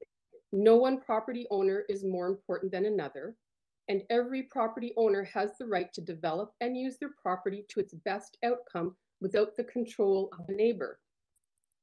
There will be absolutely no destruction of the green space at 18 Villa. The variance requested will be built in place of the existing deck. The current home is dated and does not meet the needs of a family. A new home would look better and function better for the family, the environment, and for the aesthetic of the street. There is no downside here. This is a perfect solution for a young family. They have been settled in this area for five and a half years. It bothers me tremendously that people are so busy looking out for themselves and trying to hold on to their piece of pie that they are willing to aggravate a family. It is incumbent upon all of us in the GTA and in Long Branch to look out for others and step up and help. I am so proud of the overwhelming support for this project from the neighbors on Villa Road, the neighbors that are directly affected by this proposal. They are really good people that look out for each other, the kind of people that make a great community and the kind of people that you want as your neighbors. I would like to address the cedar hedge belonging to 22 Villa Road. The trees were planted too close to the property line. They infringe on the backyard of 18 Villa and are not city protected. The trees are out of control and cause the backyard of 18 Villa to be in shade throughout the afternoon. A determination of what can be done to a property should not be based on the fact that a neighbor planted trees too close to the property line. Any such decision based on the trees would in essence devalue the property of 18 Villa and not allow the owners to realize the true value of their property. I'm very certain that absolutely no homeowner would agree that a neighbor should have the power to determine the use and value of their property based on where that neighbor planted trees. It is important to note that 22 Villa Road has cedar hedges on both sides of the yard. There are eight cedars on the east side and 14 cedars on the west side, so there are plenty of trees to provide a habitat for squirrels and birds. Also, just as a note, the building of a home at 18 Villa will not impact how other people plant their gardens or harvest their food on their own properties. When Katja and Christopher first decided to pursue this project, they spoke to me, and Christopher spoke to Laura, the owner of 22 Villa. They received positive affirmations about the project. Later, they found out that Laura had registered an objection. At that time, Laura approached me and told me she was concerned about three things drainage, the placement of the AC unit, and her privacy. My answer to her was that drainage would be satisfied by city construction laws and not to worry. And then I said to her that nobody has complete privacy as we live in the city. All of my neighbors can look into my yard. I'm okay with that as I understand that I live in a large metropolitan area. Positive and proper growth needs to be encouraged in Long Branch. If the area does not continually improve and grow, then it will deteriorate. We are already seeing it on Lakeshore with the lack of healthy business development. Attracting great businesses will not happen if we don't have the same caliber of housing. As I mentioned, the overwhelming majority support of this proposal among residents of Villa Road is absolutely clear. I strongly encourage the committee to approve and support this project and the wishes of the neighbors of Villa Road. Thank you so much for your time. Thank you, Ms. Bennett. Um, any questions for the speaker, members? Okay.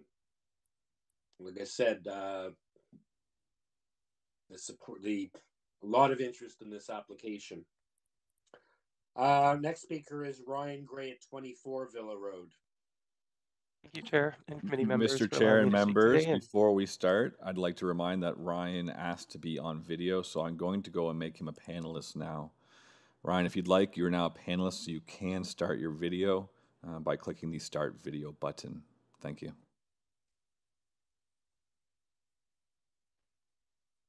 Um, thank you again for allowing me to speak today and voice my support for the proposal at 18 Villa Road. I am the owner of 24 Villa Road, an immediate neighbor to 18 Villa. Katja, Chris, and their kids, Nicholas and Zara, are part of this community. They've grown up on this street, attend schools in the community, and Katja is a primary teacher at a local public school. These are not flippers, they're not developers seeking profit on some monster home, but they're good people looking to strengthen the roots that they have in this community for many years to come. While many people may complain about bureaucracy and red tape, I fundamentally believe in good government and suggest that this, these principles are illustrated by this application in the work of your committee. While I also initially supported the initial proposal, Katja and Chris heard the concerns raised and have gone back to work with stakeholders to amend the plans and, in my opinion, have a great end result.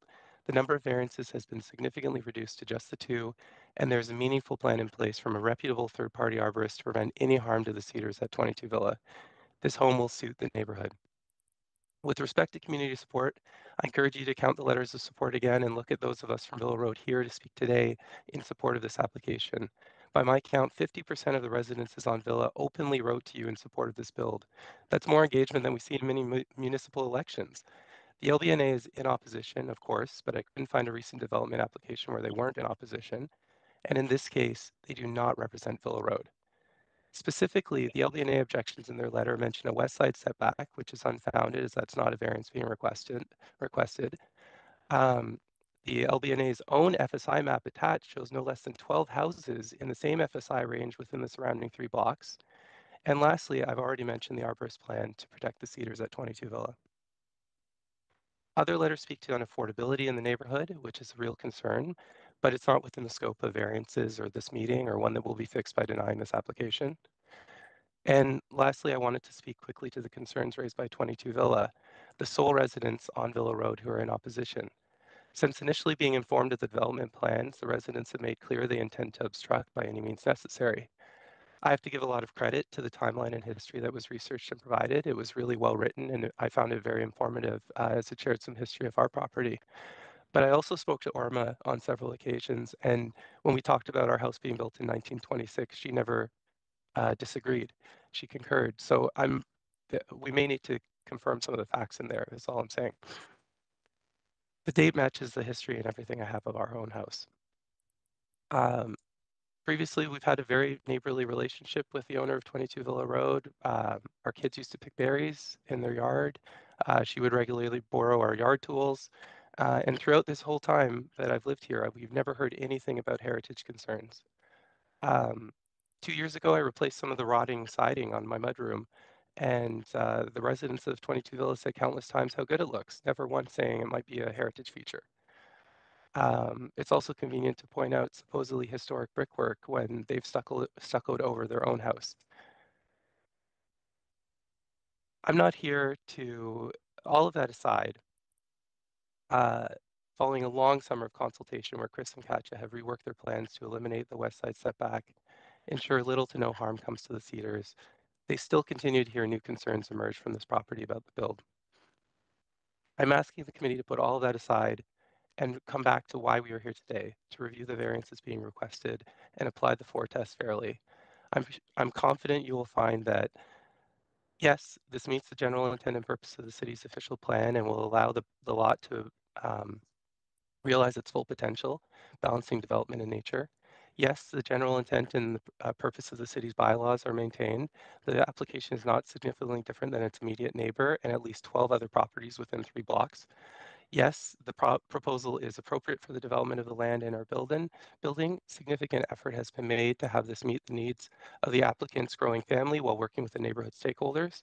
And finally, yes, the variance requested is minor. As mentioned, the two being uh, specifically requested, the setback is smaller than a schoolyard ruler uh, on the east side, and uh, the FSI is, again, in line with many, many, many, a dozen properties in the immediate area as per the Long Branch Neighborhood Association's own submission. Sorry, excuse me. Villa Road is in support of this application, and for the reasons mentioned above, I encourage you to approve it. Thank you for your time. Thank you, Mr. Gray. Any questions for Mr. Gray? Okay, if not, well, we're not going to hear from Mr. Uh, or so I don't know if it's Mr. and Mrs. Rui A. Texiera, who's another relative in support uh, of the application who doesn't live in the area. Uh, so uh, with my, uh, uh, I think we can, we don't need to hear from that person. We've heard from a lot of people in support. The next speaker is, um, okay, we have the applicants on the line. We're not going to hear from them, them, the homeowners, because they're represented by Mr very ably by Mr. Um, Romano. So I believe we have one more speaker, Stephen Vella, and we have a letter from him. He's at 42 Ash Crescent.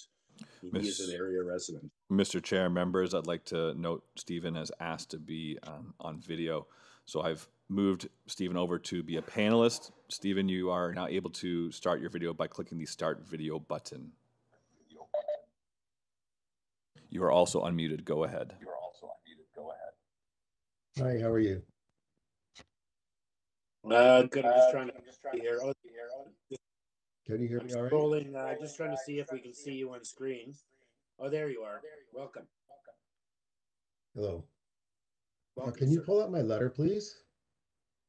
Oh, there it is. Thank you. Uh, my name is three. Stephen Vella. I live at 42 Ash Crescent. We have lived in Long Branch. Oh, I'm, I'm, by the way, as a for full disclosure, I am on the Long Branch Neighborhood Association. I'm on the board of directors there, but I'm, I'm appearing as Steve Vella from the neighborhood. Okay. We have lived in Long Branch since 1995 on Ash Crescent and also Alder Crescent. We raised three children in a three-bedroom, 100-year-old home with an FSI of 0.13, and which is about 1,200 square feet. This letter is in opposition to the proposed variances requested by the applicant, as the application's variances do not meet the four test, and the application does not support the official plan. The applicant is requesting an FSI of 0.86 when the maximum FSI permitted is 0.35, and that's 194% variance. The variance is supposed to be minor, and a request for almost 200% of the maximum allowed is not minor. Merriam-Webster defined minor as inferior in importance, size or degree, comparatively unimportant. For example, like anyone would even notice. 200% more than the maximum allowed is very noticeable. Side yard setback of 0.67 on the east side, when the minimum permitted is 0.9, is a 25% reduction. Not only is this unreasonable in position to the neighbor and not minor, it is also dangerous for the homeowner. How will the emergency responders enter the backyard if needed? As a good and respectful neighbor, the applicant should draw plans to have the side yard setback large enough to have tree protection and hoarding built. There is no requirement that all developments must be 0.9 meters from the lot line. It is the closest the bylaw will allow in conjunction with the other bylaw parameters, which includes the FSI. If the FSI were the allowable maximum, the side yard setback could be increased to build tree protection for the neighbor's trees. As the, the tree, the, the extension along the back of the house is what's going to impact the trees and that can be adjusted to have it be closer to the uh, permitted FSI. As part of the official plan, all new developments will support neighborhoods, which is 4.1.5. So the prevailing heights, massing scale, density, and dwelling type of nearby residential properties, prevailing setbacks of buildings from the streets, and rear and side yard setbacks. Uh, OP policy 3.1.2.1 preserve existing mature trees wherever possible and incorporating them into the development site. Preserving and 3.4.1 preserving and enhancing the urban forestry by providing suitable growing environment for trees, increasing the tree canopy coverage, especially long-lived native and large shade trees, and regulating injury and destruction of the trees. So the four tests to maintain the general intent and purpose of the OP, this development does not follow the policies that I just mentioned. Maintain the general intent and purpose of the zoning, be desirable for the appropriate development or use of land, and be minor. This development request is not minor. Even though there is a slightly larger setback at the rear of the building than larger based on, on, the, on the previous uh, refused development plan, there is no tree protection for the neighbor's mature, healthy trees.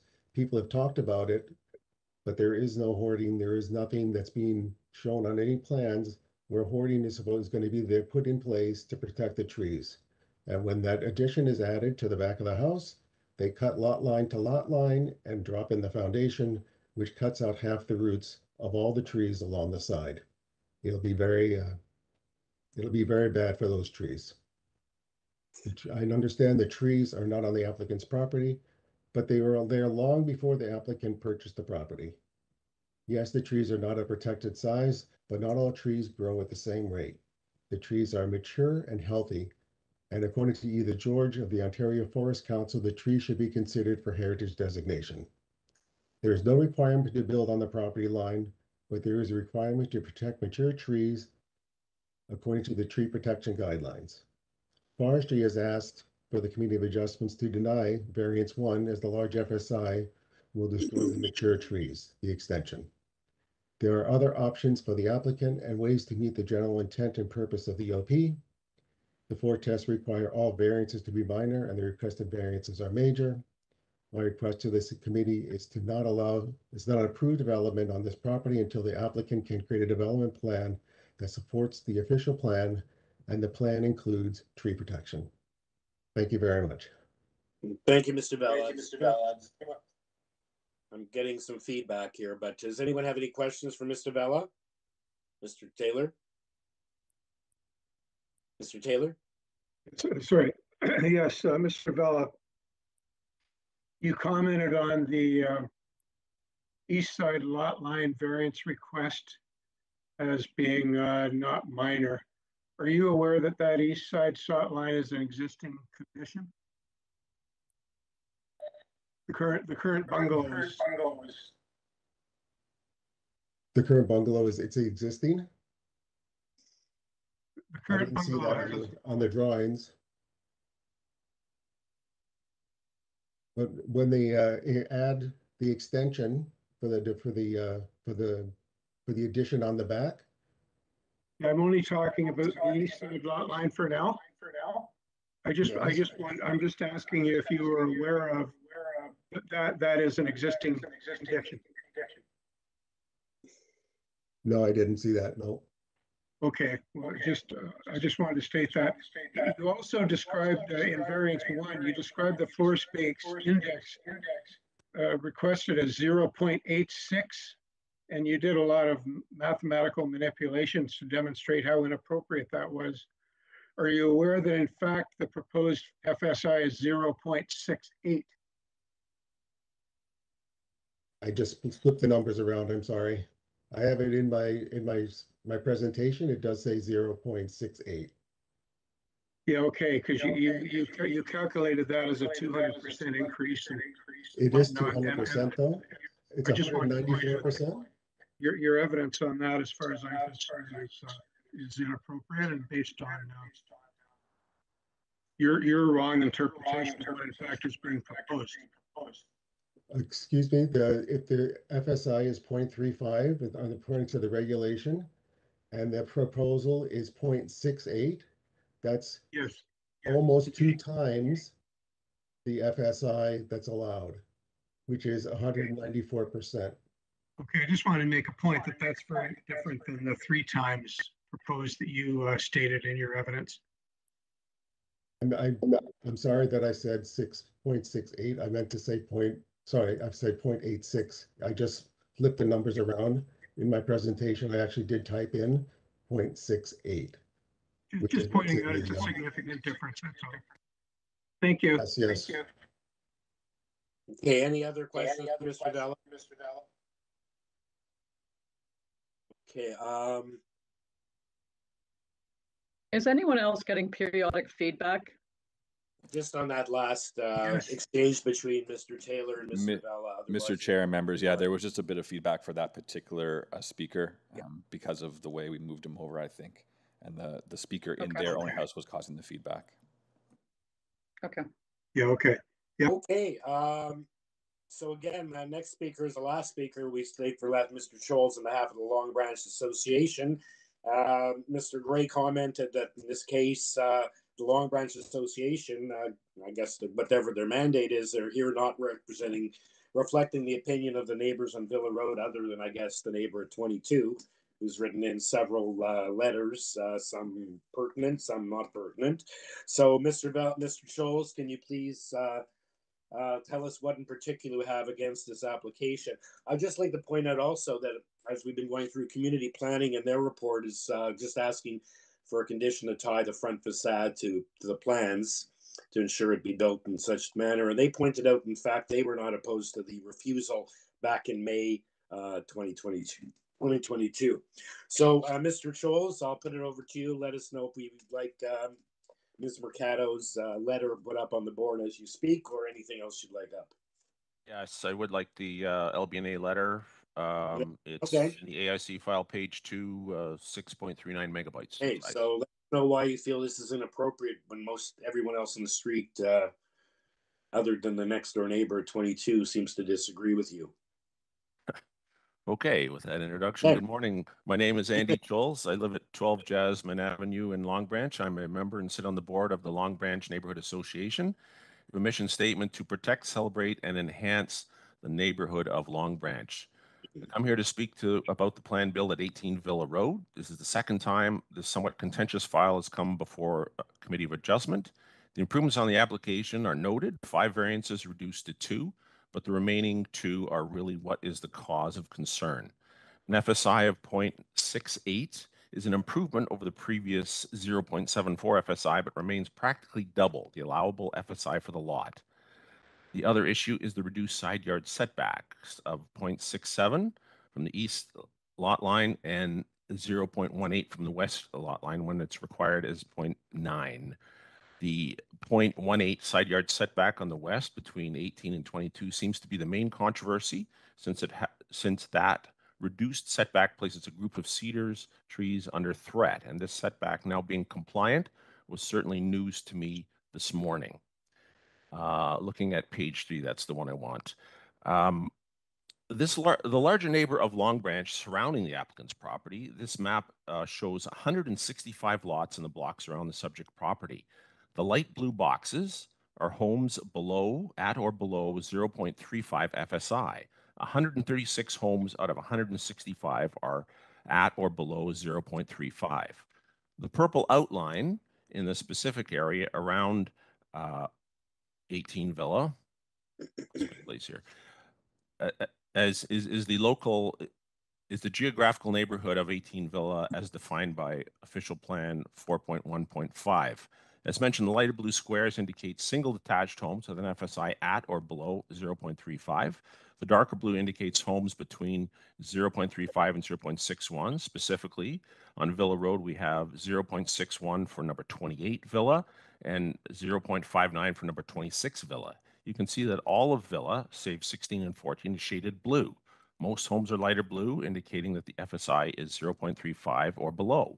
The two orange homes have a FSI between 0.62 and 0.72, specifically 0. Oops. Build at number 18. I mentioned massing because the integral garage, of which you know the LBNA is not a fan, which creates additional massing. The garage is not included in the FSI, but takes up considerable ground floor square footage. In fact, some 240 square feet or 22.3 square meters, thus increasing the perceived size of the home as viewed from the street. This property is located less than six minutes from a streetcar loop and the GO train, so there is fairly easy access to transit. There appears to be a parking solution already in place, and we would recommend that that solution be maintained. A home with the FSI of 0.68 is not prevailing on this street or in this area. The four homes on Villa with FSIs above 0.35 were all built prior to applications being subject to the Long Branch Neighborhood Character Guidelines adopted by the Toronto City Council in January of 2018. No FSIs that large have been approved in the area since the adoption of the guidelines. Pictures of the houses on Villa are included in the last pages of the LBNA letter. With pictures are included relevant notes regarding excessive FSIs of a few of the homes and the separation of the porosity offered by the side driveways between many of the homes. Excerpts from the official plan 4.4 are included on pages 4 and 5. I'm sure you're familiar with these, uh, are very familiar to you. Development in established neighborhoods will respect and reinforce the existing physical character of each geographical neighborhood, including C. Prevailing heights, massing, scale, density, and dwelling types of nearby residential properties. E. Prevailing location, design, and elevation relative to the grade, driveways, and garages. G. Prevailing patterns of rear and side yard setbacks and landscape open spaces. And I. Conservation of heritage buildings, structures, and relevant to this file, landscapes. I'm not really telling you anything new about this file. Similar info was presented at the May 5th Committee of Adjustment by Christine Mercado, the chair of the LBNA. This file has become, and it had rather contentious, but I've changed that to very contentious. There's been uh, much back and forth about which side has more letters either approving or objecting the application, and which of those letters are more relevant given to where the letter writer lives compared to the location of the home. Uh, there's been praise given to the family at 18, which I'm sure is well deserved. The LBNA is a being a neighborhood association really does not want to get involved in personal squabbles between neighbors. Our desire is to keep focused on the issues related to planning and the bylaws as they relate to the plan build. As mentioned, this application was before the committee back in May when it was refused. The LBNA proposed, following that hearing, that the parties make use of the mediation available through TLAB. An impartial third party can cut through some of the animosity that has built up here and is it, that is what's really needed in this case. The normal order of operations in the system of applications seems to be it's heard by the Committee of Adjustment. If you disagree with that decision, it can be appealed to TLAB. And if it can't be settled at TLAB, it can be appealed further to divisional court. In the past few months, I've noticed a small number of applications seem to be appearing to be repeating, repeatedly appearing before the Committee of Adjustment or coming back to the Committee of Adjustment after a decision by TLAB. It seems to be a little out of the natural order and frankly unnecessary. The LBNA continues to put forth that this file should be mediated by the TLAB and attempt to come up with a solution that all parties can live with. The only way we can accomplish that is by refusing this application today. That is the only way it might get T- to TLAB because we know with the passing of Bill 23, the only party that can appeal today's decision is the applicant. And Mr. Chair, you referred to that in your intro. Mm-hmm. I've heard members of the panel say in the past, it's a 2,000 square foot house. Mr. Chair, we're at six large minutes. Family, and they would not be wrong. Almost done.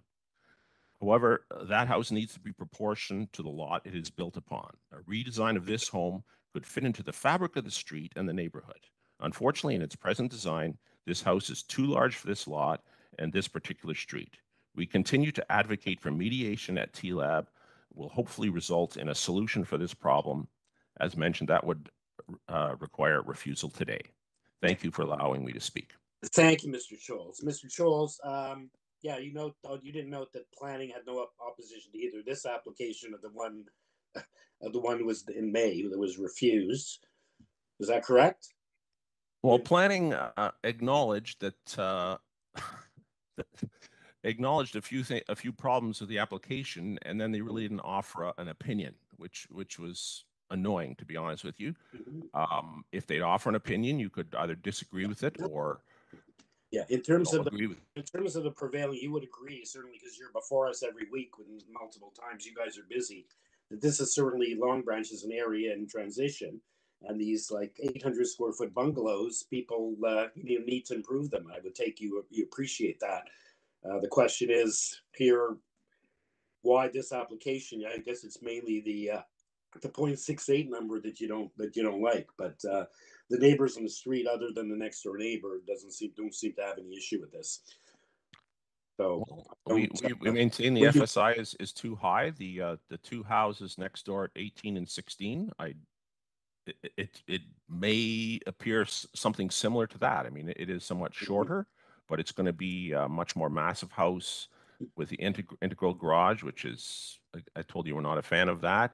And Yeah. is it necessary? The, the parking is sort of not as important as it used to be in, in some of the applications, and they're very close to transit. So the, the, the garage on the ground floor is creating a, a huge void, which could be used for living space.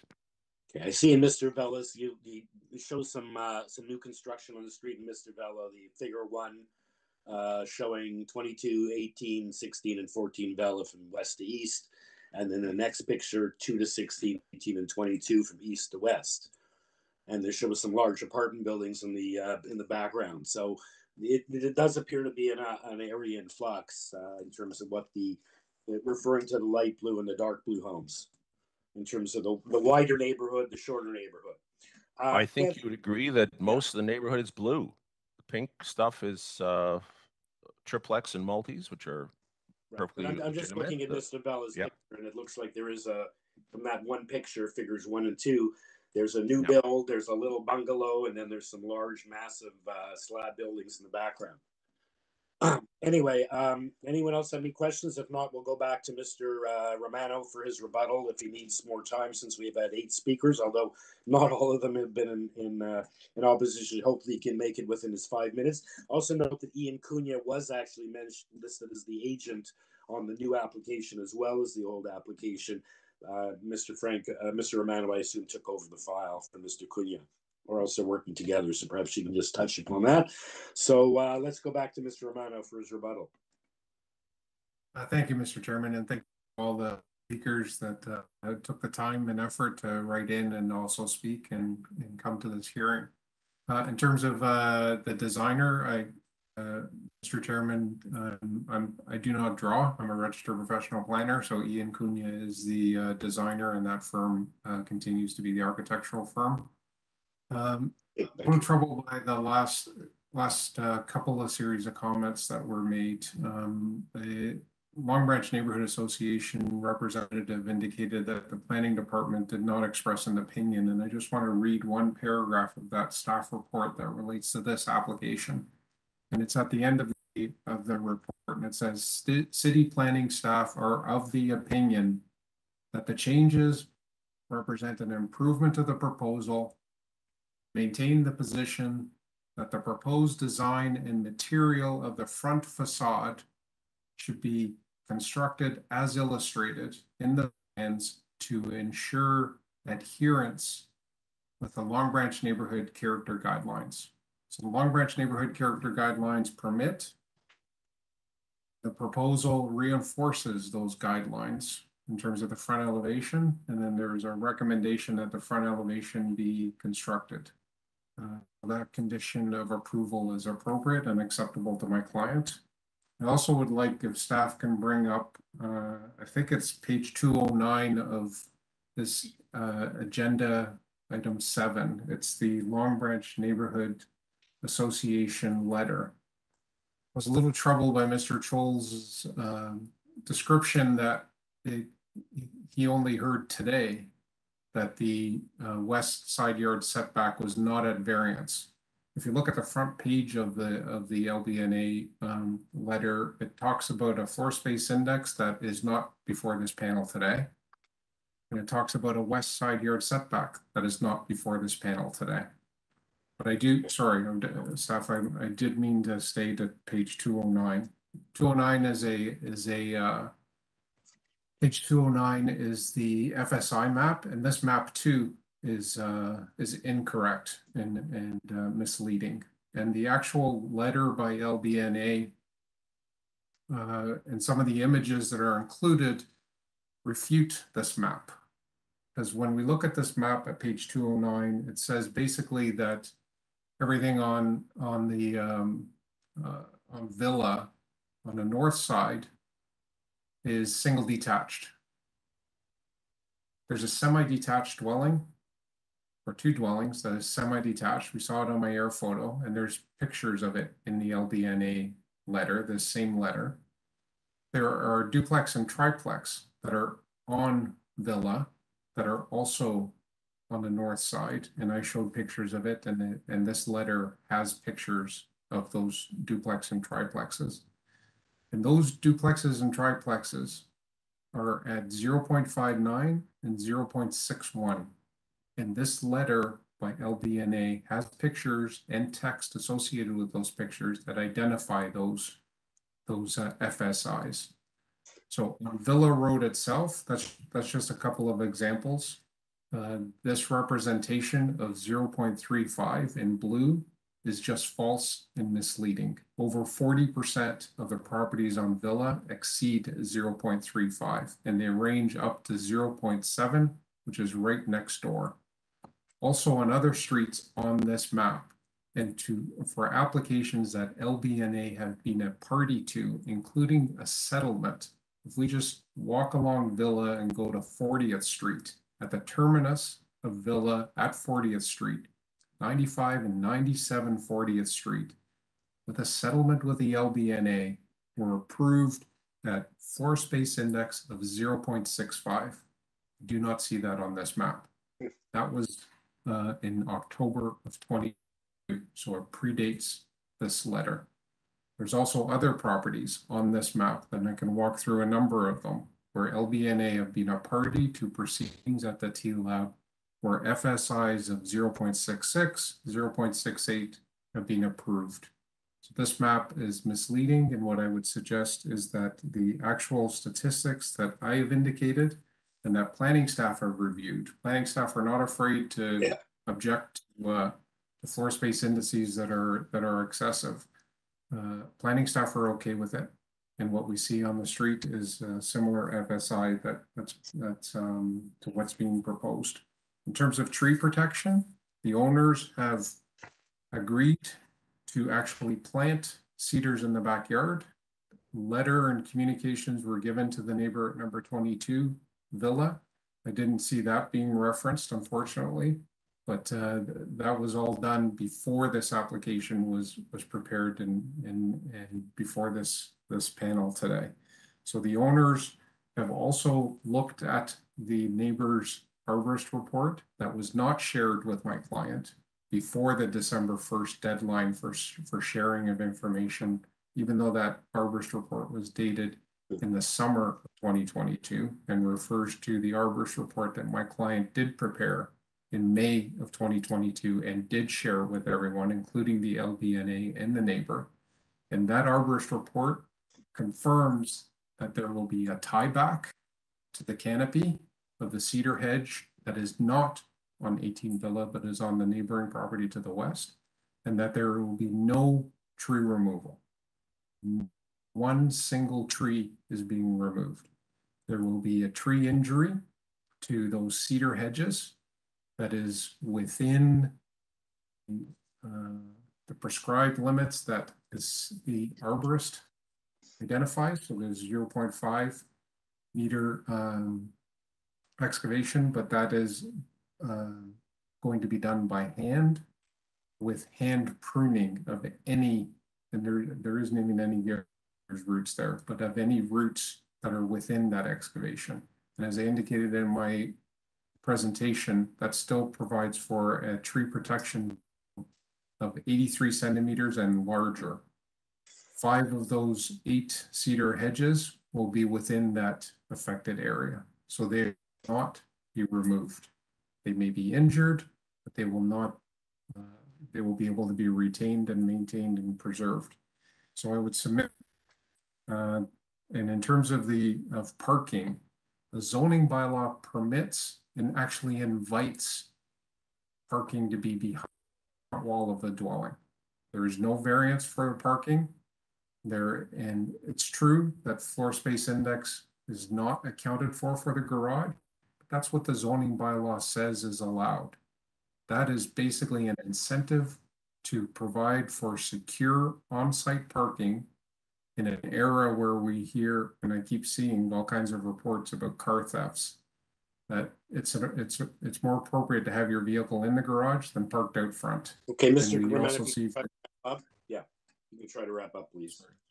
subject to any questions, or I would submit that the uh, variances, none of which affect uh, 22 Villa or the LBNA, uh, should be authorized subject to the urban forestry commission to uh, provide payment in lieu of planting a city tree, even though my client would be happy to plant a city tree. And also to the planning staff uh, report recommendation that the construction occur substantially in accordance with the front elevation. Okay, thank you, Mr. Romano.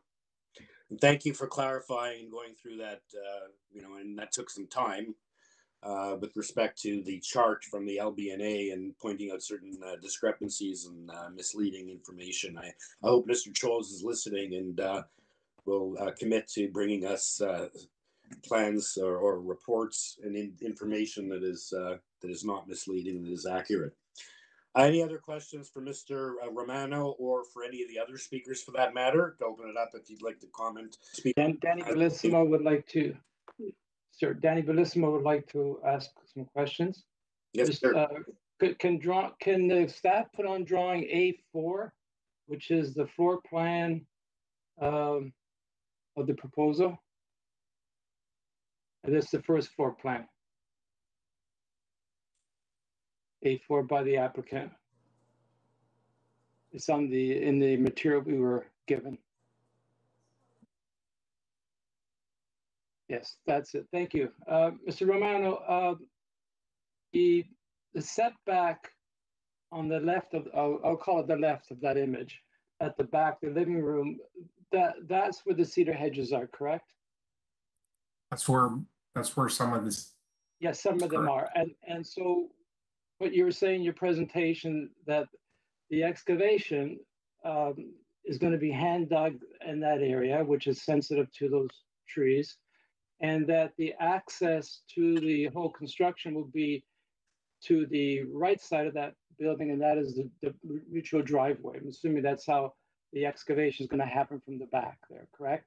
So the the machinery will work away from those cedar hedges then in terms of the actual excavation and the uh, hand digging can happen at that point too, correct? that's right. That's, that's correct. Through you, Mr. Chairman. My, that is in my slides and I didn't get to point out, but there is an existing fence that is, Yes. uh, that is, uh, just west of the, of the side lot line in between the cedar hedge and my client's property line. So that fence is not being altered or removed, would also, and that also functions as like a, a tree hoarding.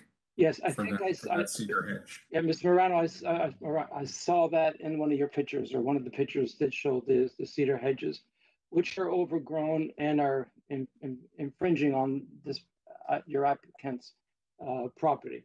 Uh, so, uh, I, I just wanted to point that out to the other members in this drawing, because as you can see, there is some sensitivity taken to, uh, to try to minimize the damage to those cedars. And, and, and the setback um, is intentional here at the rear addition. Um, So I, I would like to make a motion if there's no further questions, but I would like to hear if there are other members who want to weigh in. So I'm ready for a motion. Anyone else have any questions or can Mr. Bellissimo proceed? Okay, uh, so th- th- this is a very complicated project, but yet at the same time very simple. Um, there's sensitivity to the cedars. I think the neighbor has made some points, but I think the applicant's heard them. And the hand digging is, is very important, and I think they, they can be saved. Um, this is not a tear down proposal. This is not, in my mind, an extravagant home in terms of addition or work that they're being that's happening. Um, and it's on a dead end street. Being on a dead end street creates certain character. And I think the presentation of all the members today who, who came support or uh, objecting indicate that. So I think there's some so strong solidity on that street because it's a dead end street.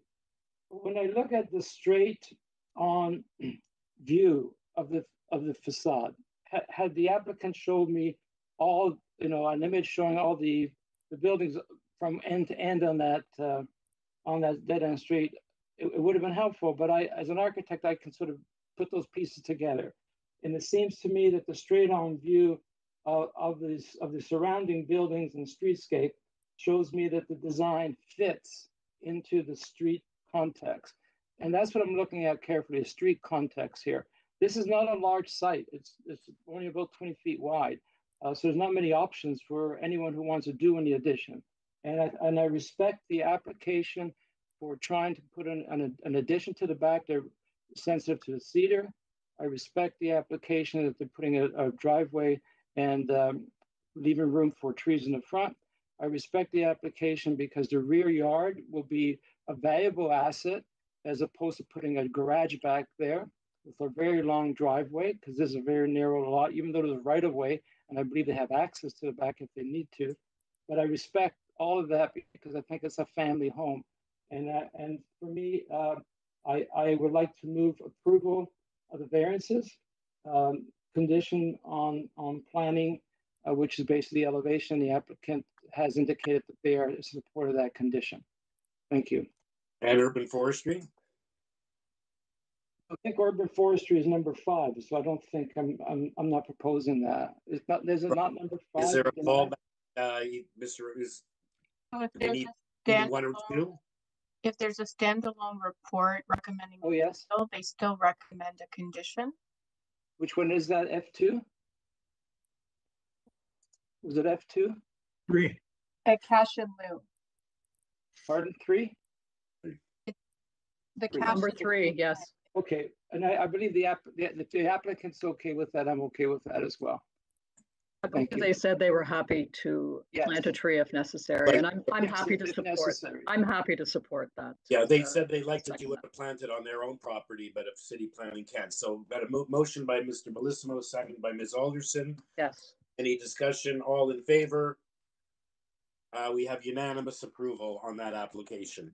Thank you for all the speakers, for all the people who wrote in, individual, not just form letters. Uh, they spoke their mind, and hopefully, uh, we can move forward on this, uh, on this, and um, cooler heads can prevail. So uh, the application has been approved.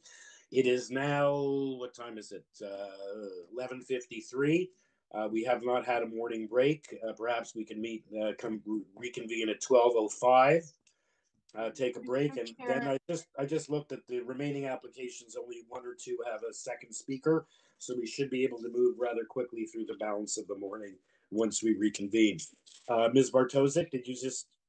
Yes, something we're just- just going to try to resolve the issue with YouTube. So can we come back at twelve fifteen because they may need some time to reset?